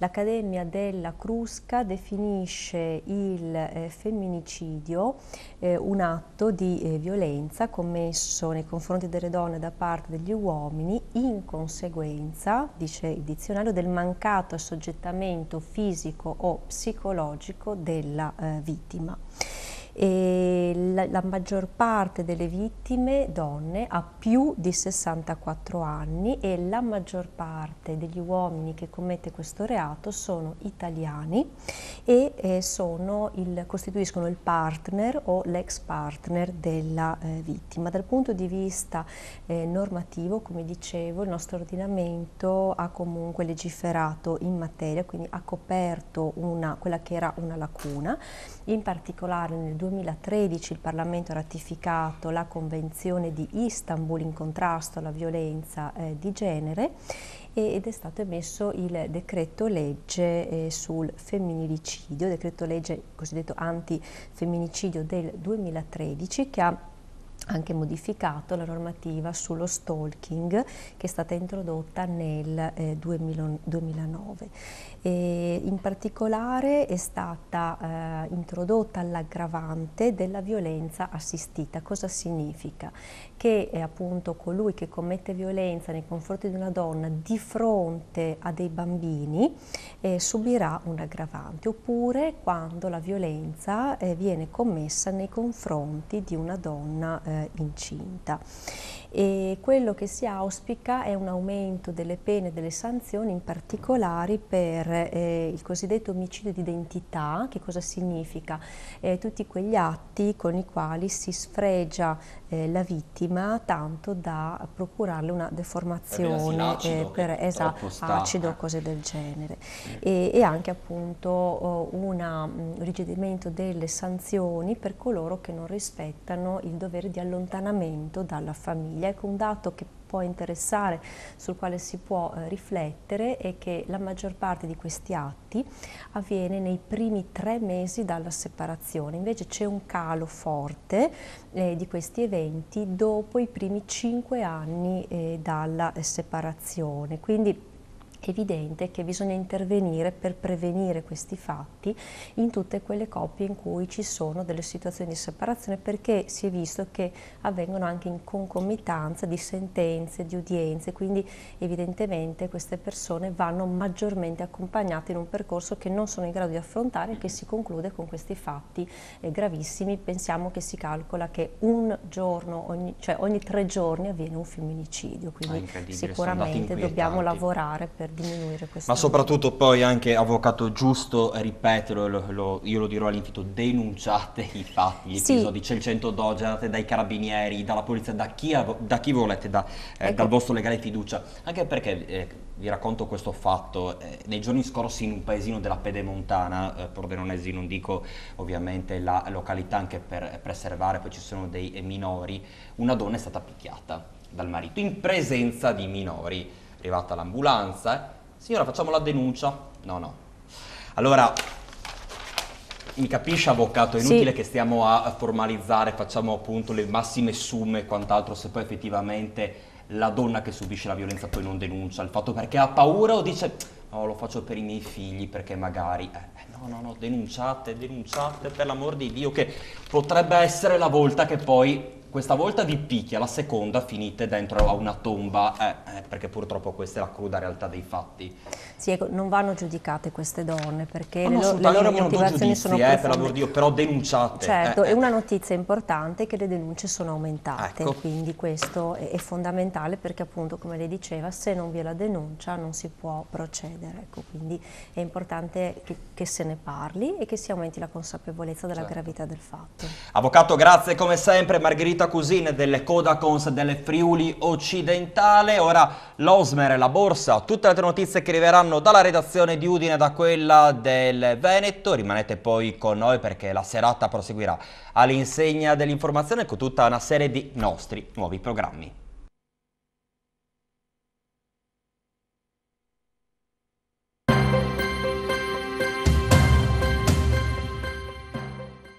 Buonasera a tutti. Situazione meteorologica decisamente improntata al bel tempo nei prossimi giorni per un'alta pressione che si espande dal vicino Atlantico all'Europa centrale anche al versante sud alpino. E una depressione sull'Africa invece continua a far affluire correnti nord-orientali secche e via via però più moderate e più deboli. Domani ci aspetta cielo in genere sereno su tutta la regione, con qualche gelata possibile di notte anche localmente in pianura, temperature un po' più miti intorno ai 7-8 gradi sulla costa, massime poi saliranno 15 gradi sulla costa fino a 17 e 18 anche in pianura. Zero termico dai 1500 metri del mattino salirà fino ai 3000 metri della sera in montagna, quindi con eh, l'arrivo appunto di aria decisamente più mite in quota. Ehm, dopodomani, ma così anche nel fine settimana, quantomeno per quanto riguarda sabato, ci aspetta ancora cielo sereno, salvo il passaggio di qualche temporanea velatura, il vento di Bora, presente domani sostenuto sulla costa moderato in pianura, da dopodomani tenderà ad attenuarsi, ancora presente venerdì, direi invece lascerà il posto alla Brezza sabato, con temperature che rimangono abbastanza fresche di notte, quindi ancora valori non lontani di 0 gradi in pianura intorno agli 8 gradi sulla costa. Le massime invece salgono, arrivando a 20 gradi venerdì e superandoli anche sabato e poi probabilmente anche domenica, quindi escursione termica in aumento nei prossimi giorni, eh, appunto tra delle nottate mattinate piuttosto fresche eh, in pianura invece delle giornate decisamente miti. Direi che per ora è tutto.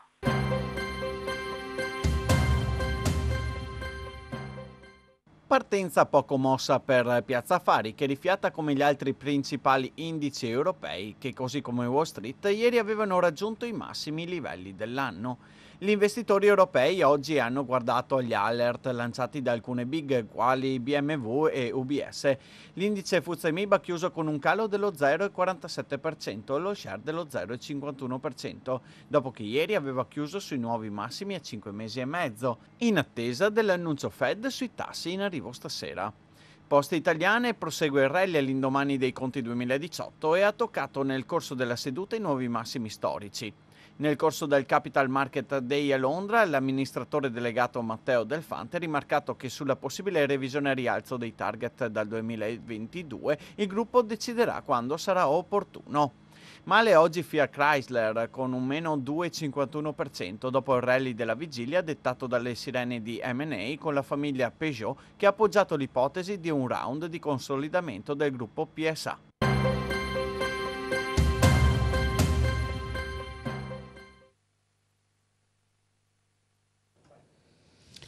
Ben ritrovati gentili amici e amiche alla visione all'ascolto, continua l'informazione su TPN, come sempre pagina dedicata al Friuli Venezia Giulia, da Udine in questo caso, e apriamo subito con il calcio per dire che questa mattina l'Udinese Calcio ha sollevato dall'incarico Davide Nicola, lo ha annunciato la stessa società in un comunicato stampa. Già però dal primo pomeriggio al centro sportivo Bruseschi in campo il nuovo allenatore Igor Tudor, l'anno scorso già sulla panchina, ricordiamo, dei friulani nelle ultime giornate. Secondo altre fonti il suo vice sarà Giampiero Pinzi, bandiera bianconera, uomo giusto, come si dice, per fare collante tra il tecnico e lo spogliatoio. Nicola, ricordiamo, era subentrato a Julio Velasquez eh, il 13 novembre scorso dopo la sconfitta a Empoli. L'allenatore di Luserna San Giovanni è rimasto sulla panchina dei friulani per poco più di quattro mesi. La decisione dell'esonero è arrivata dopo le due sconfitte con Juventus e Napoli che hanno portato la società al minimo vantaggio sul terzultimo posto a un punto dal Bologna. Ricordiamo che l'Udinese aveva battuto il Bologna, è andata più 7, poi sconfitte con la Juventus e con il Napoli e chiaramente siamo tornati a più 1. La domanda nasce spontanea aspettavano adesso per fare il cambio e soprattutto è colpa di Nicola se i risultati non arrivano? Purtroppo i presidenti e i proprietari non sempre si possono esonerare. Cresce intanto l'attesa Udine per Italia-Finlandia che sabato prossimo inaugurerà il cammino degli azzurri verso Euro 2020. I biglietti venduti sono già oltre 18.000 con le curve al completo già da qualche giorno e settore distinti in corso di esaurimento. I tifosi finnici annunciati sono circa 750. La partita che sarà diretta dall'arbitro israeliano Orel Greenfield alle 20.30, 20.45, fischio d'inizio.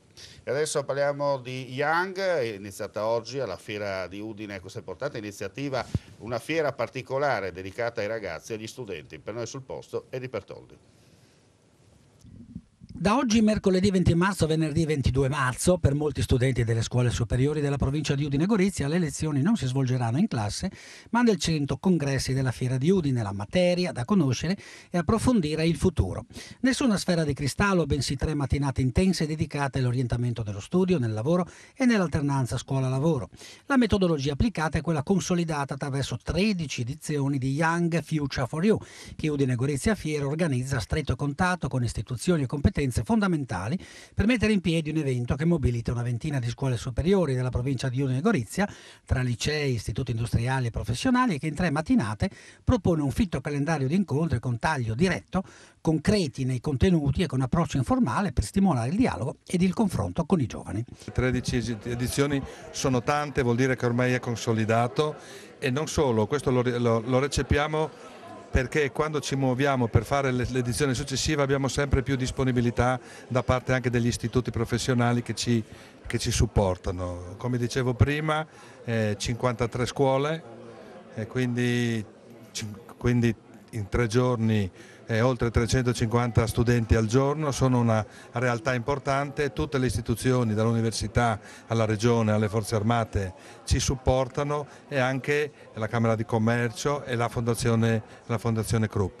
Però questo consente, come diceva lei, di eh, mettere insieme quelle che sono le realtà produttive al di là delle istituzioni con quello che è il mondo giovanile che è la società di domani, per cui è un investimento che noi facciamo molto volentieri e che coordiniamo costantemente. Ecco, a proposito di mondo giovanile, ne parlavamo prima con il direttore della Fondazione Friuli, in un momento in cui prevale l'odio, prevale insomma tutto quello che non dovrebbe prevalere, abbiamo avuto la percezione che molti, ma molti ragazzi si avvicinino alle forze dell'ordine, chiedono informazioni.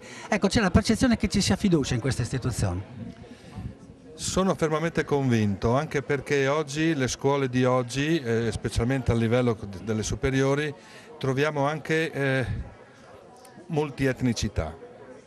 E che queste presenze complessive globali, quindi non soltanto finalizzate, eh, trovino l'interesse per le forze dell'ordine, che quello che sono i momenti di sicurezza, ma indipendentemente da quello che è l'aspetto eh, politico, ideologico o religioso, è un segnale importante per questa nuova società che, con la quale noi tentiamo di fare e di far crescere.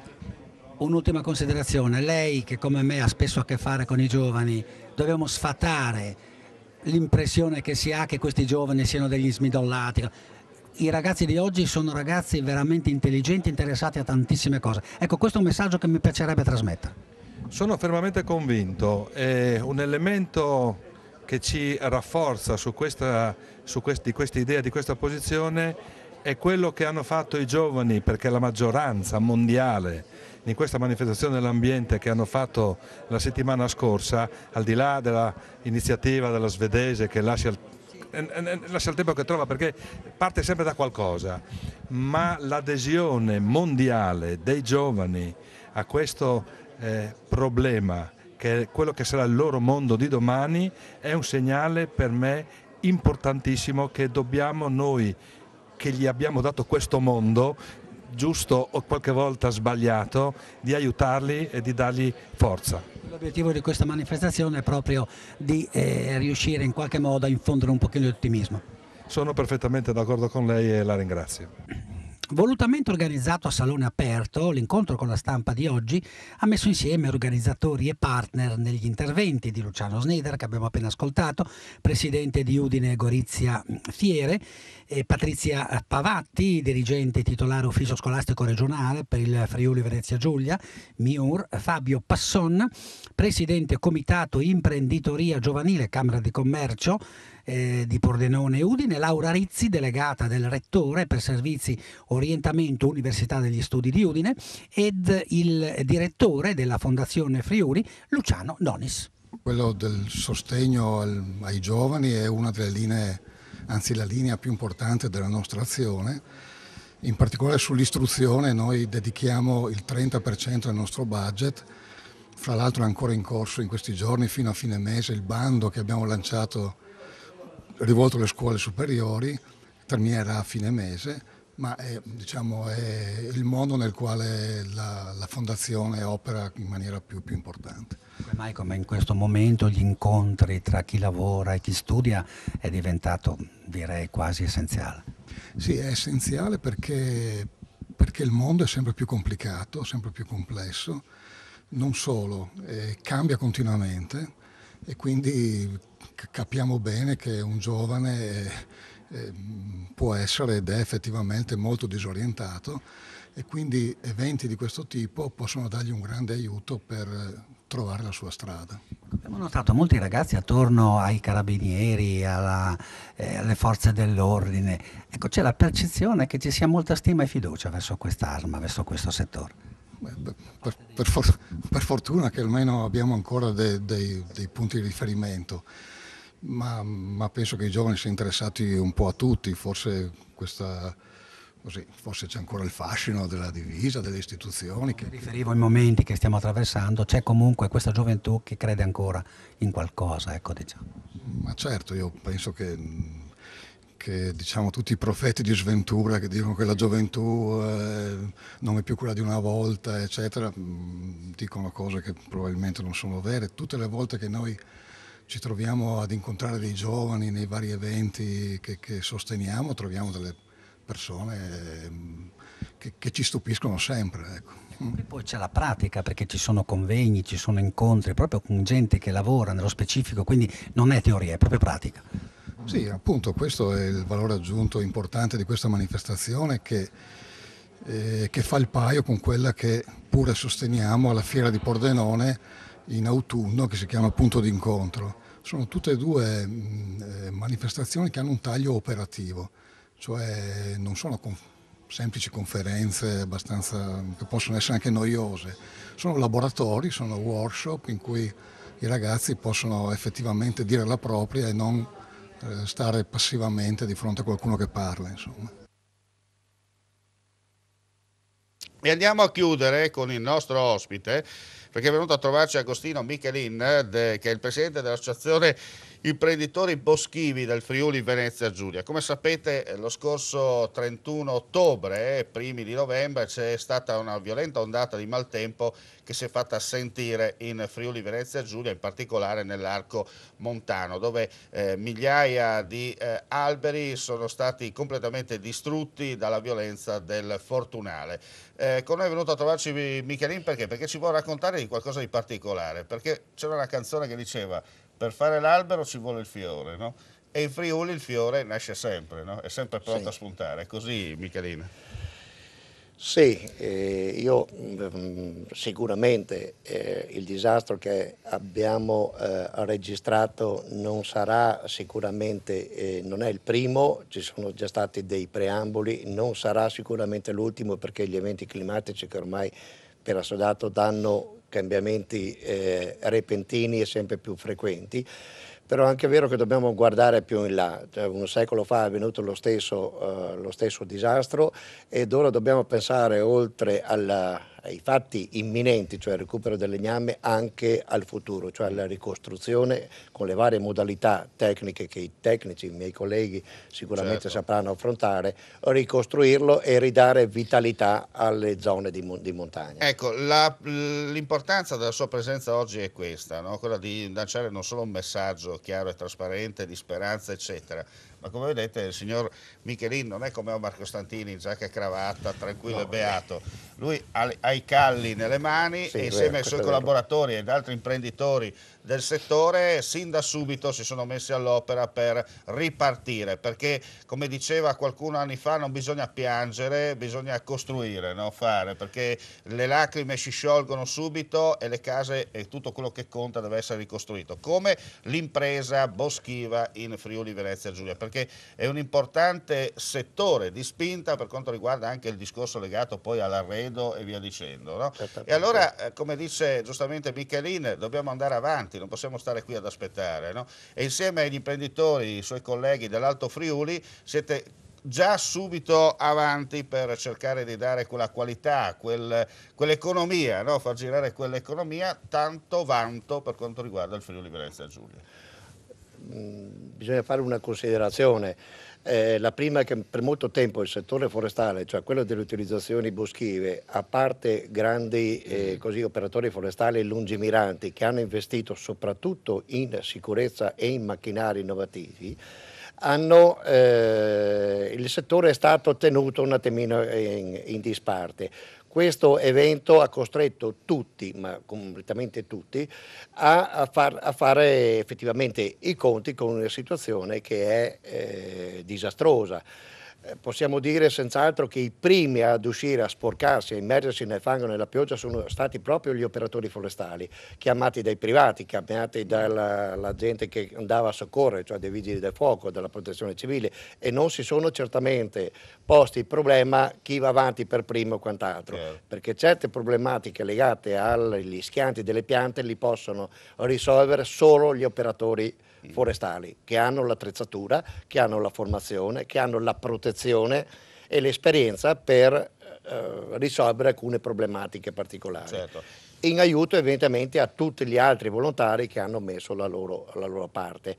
È un processo che andrà avanti di recupero del materiale ma anche della ricostruzione che non è... Eh, non si risolverà con questo tunnel. Uno dei grossi problemi è ripristinare la viabilità sia all'accesso ai territori per il recupero del legname ma anche per portarlo fuori. Pensiamo alle maglie che, hanno, che sono rimaste isolate e, e, quindi ridare un attimino di speranza a queste certo. persone e all'economia locale. Teniamo conto che operare in bosco in queste situazioni, cioè con eh, interi ettari disastrati con piante schiantati non è una, eh, una procedura di utilizzazione normale perché le piante si comportano in maniera completamente diversa, quindi i rischi per gli operatori sono molto ma molto più evidenti eh, possono intervenire, non si pensi di andare lì con um, attrezzatura leggera, soltanto operatori esperti con macchinari adatti possono operare, quindi yeah. non scandalizziamoci se alcune imprese saranno lasciate da parte, interverranno le ditte straniere, soprattutto in centro Europa, che hanno avuto nel pregresso, pensiamo all'OTAR e altri eventi, già esperienza di questo tipo, quindi grandi macchinari, velocità di lavoro, ehm, capacità di eh, organizzare i cantieri. Chiaro. Noi purtroppo è la prima volta che ci troviamo con, entità, eh, con disastri di questa entità e quindi ci servirà soprattutto da esperienza per, per il futuro.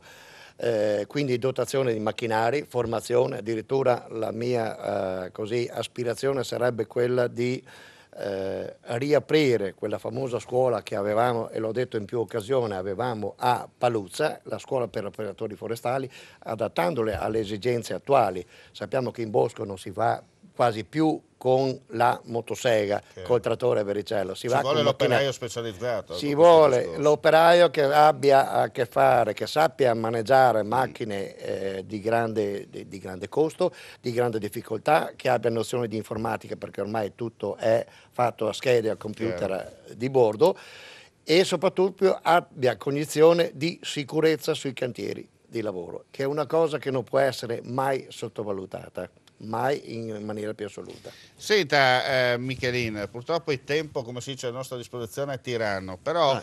io avrei idea di realizzare con lei e con i suoi collaboratori uno specialino che poi manderemo in onda a Pasqua per far vedere come si lavora e com soprattutto come i friulani e anche eh, i carnici, perché comunque facciamo parte della stessa regione per capirsi, sì. eh, dimostrano con i fatti e con la serietà per cui il loro DNA si è, come si dice, espanso nel tempo, seppur arrivati i barbari, ma sempre, sempre quello è, e cercheremo insomma di organizzarci per realizzare proprio uno specialino che mostreremo poi il eh, periodo di Pasqua ai telespettatori di TPN, eh, per dire che qui si parla poco, ma si lavora, si parla poco, soprattutto, lavora. soprattutto, meno eh. chiacchiere più, eh, I cali, più si, eh, ecco, i cali ci i sono cali da, da, da, 30 anni.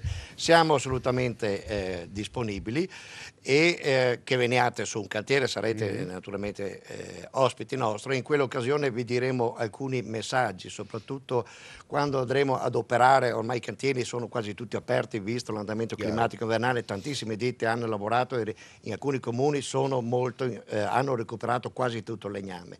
Eh, ci sono alcune problematiche legate alla viabilità che, a cui daremo una mano per ripristinarla assieme alla Però stiamo lavorando, dai, esatto. the work in progress, the work in progress. Ecco. Io ringrazio l'ospite, ringrazio voi gentili amici e amiche per la visione all'ascolto, come sempre termina qui la pagina informativa dedicata al Friuli Venezia Giulia, ma l'informazione su TPN continua. Dopo il break pubblicitario la linea ai colleghi del Veneto.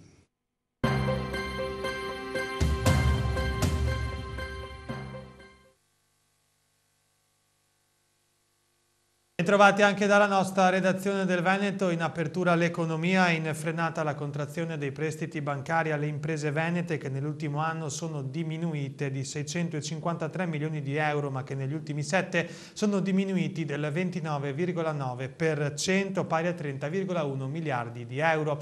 Lo si evince dall'ultima indagine della CGA di Mestre con meno disponibilità di risorse finanziarie, ha detto il coordinatore eh, dello studio mestrino Paolo Paolo Zabeo, non è da escludere che molte piccole e medie imprese si siano rivolte a forme di approvvigionamento del credito illegale controllate anche dal Veneto, secondo la CGA, da organizzazioni criminali.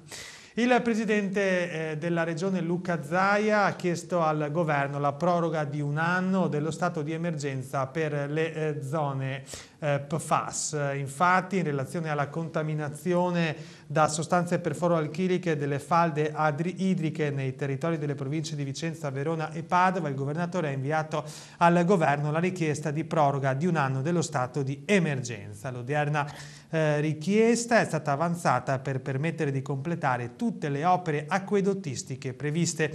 Data la complessità degli interventi, la proroga permette di poter disporre del tempo necessario per l'avvio di tutte le opere, garantendo un flusso costante di informazioni e un aggiornamento costante sullo stato di attuazione direttamente con il Dipartimento di Protezione Civile.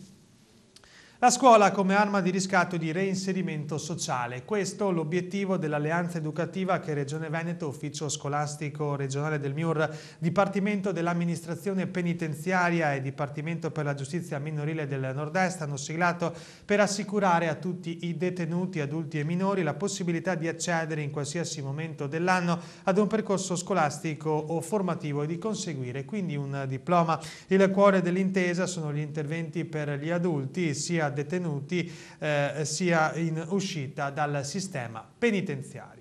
I carabinieri della compagnia di eh, Venezia, continuamente impegnati nell'ambito dei servizi per contrastare il proliferare di sostanze stupefacenti all'interno degli istituti, hanno effettuato nelle ultime ore eh, tre eh, blitz nel veneziano all'Istituto Alberghiero Andrea Barbarigo, il Vendramin eh, Correr e il Giorgio Cini. Al suono della campanella, oltre agli insegnanti, ad attendere gli studenti c'erano anche i carabinieri con un nutrito dispositivo di uomini sia in uniforme uniforme che in borghese e con l'ausilio dell'unità eh, cinofila.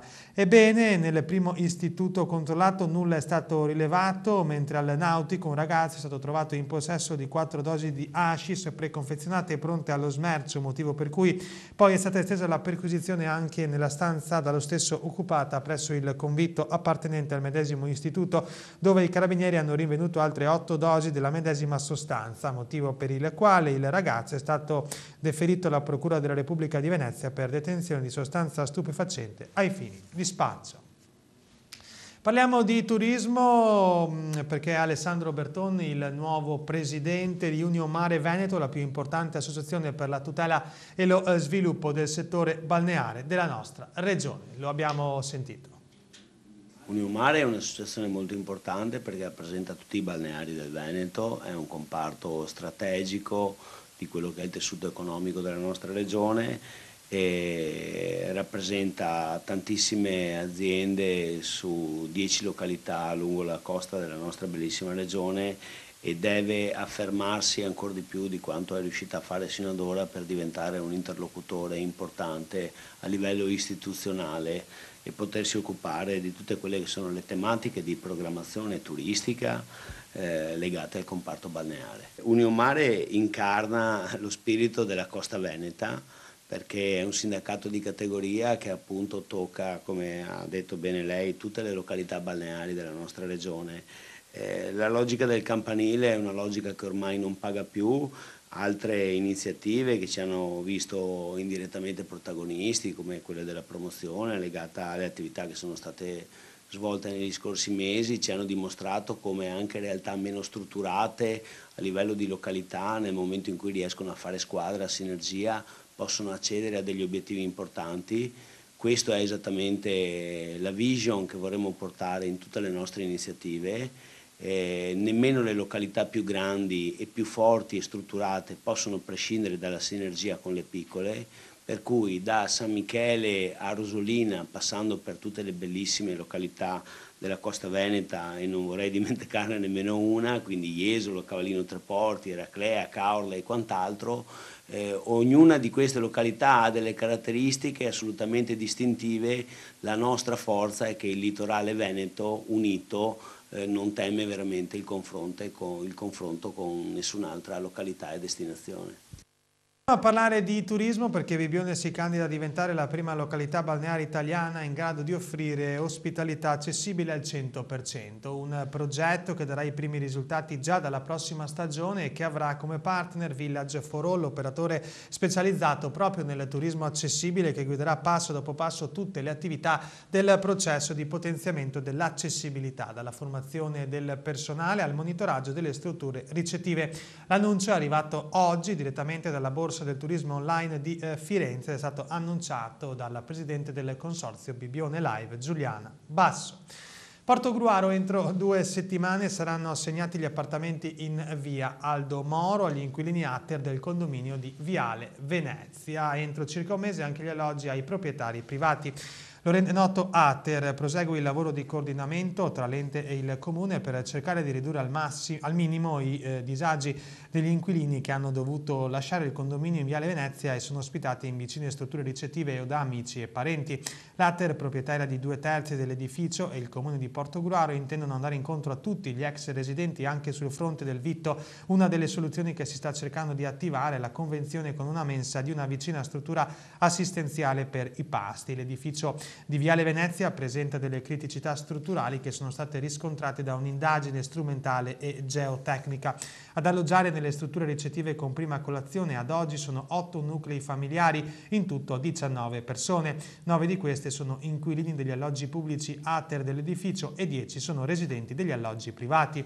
Ci siamo attivati assieme al Comune per concorrere alle spese dell'alloggio e del vitto proprio per andare incontro agli inquilini che stanno vivendo un momento eh, difficile, ha detto eh, Raffaele Speranzon che è il presidente di Atter Venezia, nonostante i disagi del trasferimento e le polemiche è fondamentale sottolineare che la perizia voluta dall'Atter si è rivelata fondamentale, non si poteva fare altrimenti per eh, tutelare l'incolumità eh, dei eh, residenti. Ebbene, ci siamo messi subito appena ricevuto l'esito della perizia eh, al lavoro, tanto che abbiamo individuato gli appartamenti alternativi e avvertito le imprese che sono messe al lavoro per eh, sistemarli.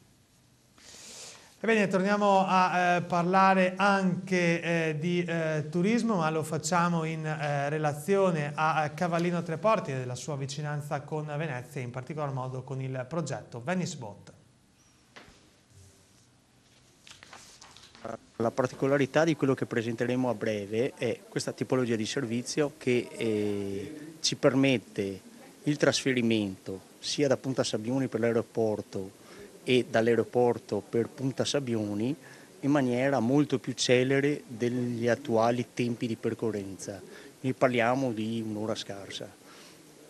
Ci sono i pontili dedicati sia a Punta Sabbioni sia all'aeroporto e permette praticamente di togliere da strada tutta una serie di criticità che attualmente ci sono, soprattutto nel periodo in cui noi espleteremo il servizio per cui il servizio su gomma dura molto di più, non per colpa di nessuno, ma proprio per l'aumento su strada che crea questa tipologia di servizio. Allora, noi abbiamo 20 anni di esperienza, facciamo già tutta una serie di servizi per conto di ACTV, quindi viaggiamo in laguna di giorno, di notte, con tutti i tempi H24. Allora, una delle criticità del nostro territorio è la viabilità, e quindi questa è un'alternativa seria, credibile, che viene messa come servizio per l'intero territorio e quindi una grande opportunità. Poi permettetemi anche di dire un'altra cosa, che eh, è un'azienda storica che ce la presenta, però questo è un servizio che è da start-up e quindi qualsiasi start-up, qualsiasi servizio innovativo che viene presentato al Comune per noi è motivo di grande orgoglio. Quindi questo è l'obiettivo che ci poniamo con tutte le eccellenze del nostro territorio, vorremmo averne qualcuna in più. Concordia Sagittaria da inescandescenze, 23enne, originario di Latisana, viene arrestato dai carabinieri, è accaduto alle 4 del eh, mattino fuori da un uh, locale, il ragazzo prima non voleva salire sulla vettura di servizio, poi è stato accompagnato nella cella di uh, sicurezza dai militari dell'arma e dichiarato in arresto per resistenza, stato di ebbrezza e linguaggio blasfemo. Davanti al giudice questa mattina è stato liberato dopo aver patteggiato uh, due mesi e 20 giorni di pena, poi sospeso attesa. Torniamo a eh, Porto Gruaro, soccorsa a 24 ore di distanza dopo un malore in casa. Una donna di 49 anni è stata salvata in un appartamento in via Croce Rossa nella serata di ieri. Dall'allarme è stata eh, una conoscente, sul posto si sono precipitati i vigili del fuoco che hanno aperto la porta d'ingresso dell'abitazione, gli operatori sanitari del SUEM 118 e i carabinieri della locale compagnia. L'inquilina non era riuscita ad afferrare il eh, telefono per invocare aiuto stata poi trasferita in ospedale per le cure del caso. A proposito di ospedale andiamo a San Donà perché lunedì mattina i primi eh, due eh, pazienti eh, diversamente abili sono stati sottoposti al eh, trattamento odontoiatrico in anestesia generale eh, le loro condizioni psicofisiche non permettevano il trattamento consueto, ad esempio l'estrazione di un dente in anestesia locale, in quanto tale procedura sarebbe stata rischiosa per la loro salute. La eh, notizia è che praticamente all'ospedale eh, situato sulle rive del Piave gli utenti disabili possono da qualche giorno usufruire dell'anestesia generale per le cure odontoiatriche. A Caorle il Consiglio Comunale nella seduta eh, pubblica di lunedì ha approvato le nuove tariffe IMU, Tasi e Tari. Le prime due imposte non subiranno modifiche mentre la Tari è stata ritoccata leggermente al rialzo così come in altri comuni soci dell'azienda ASVO che si occupa della raccolta e gestione dei eh, rifiuti. Sulla Tari la minoranza si è astenuta, altri punti del Consiglio, l'aggiornamento del bilancio di previsione fino al 2021 è passato coi voti contrari dell'opposizione, voto unanime invece per la modifica alla convenzione con il comune di Porto Gruaro per le sepolture eh, d'oltre Laguna. Il prossimo 24 marzo sarà celebrata invece la terza giornata europea del gelato artigianale. Cambiamo argomento perché per l'occasione i gelatieri hanno scelto come gusto dell'anno il tiramisù, due tradizioni dolciarie venete che hanno conquistato il mondo. Si tratta di un traguardo raggiunto nel 2012 dopo la prima richiesta avanzata all'Europarlamento nel 2009 grazie anche al lavoro dell'entourage della fiera di Longarone, sede dal 1959 della mostra internazionale del gelato artigianale e da Art Glaze, la confederazione dei gelatieri artigiani di sette stati europei. Il Parlamento europeo definì il gelato come l'eccellenza tra i prodotti lattiero-caseari in termini di qualità e sicurezza alimentare. Ancora oggi è l'unica giornata che l'istituzione europea dedica ad un alimento. E con questo è tutto, grazie per averci seguito, vi lascio alle nostre previsioni del eh, tempo, a voi tutti un eh, buon proseguimento con la nostra programmazione. Arrivederci.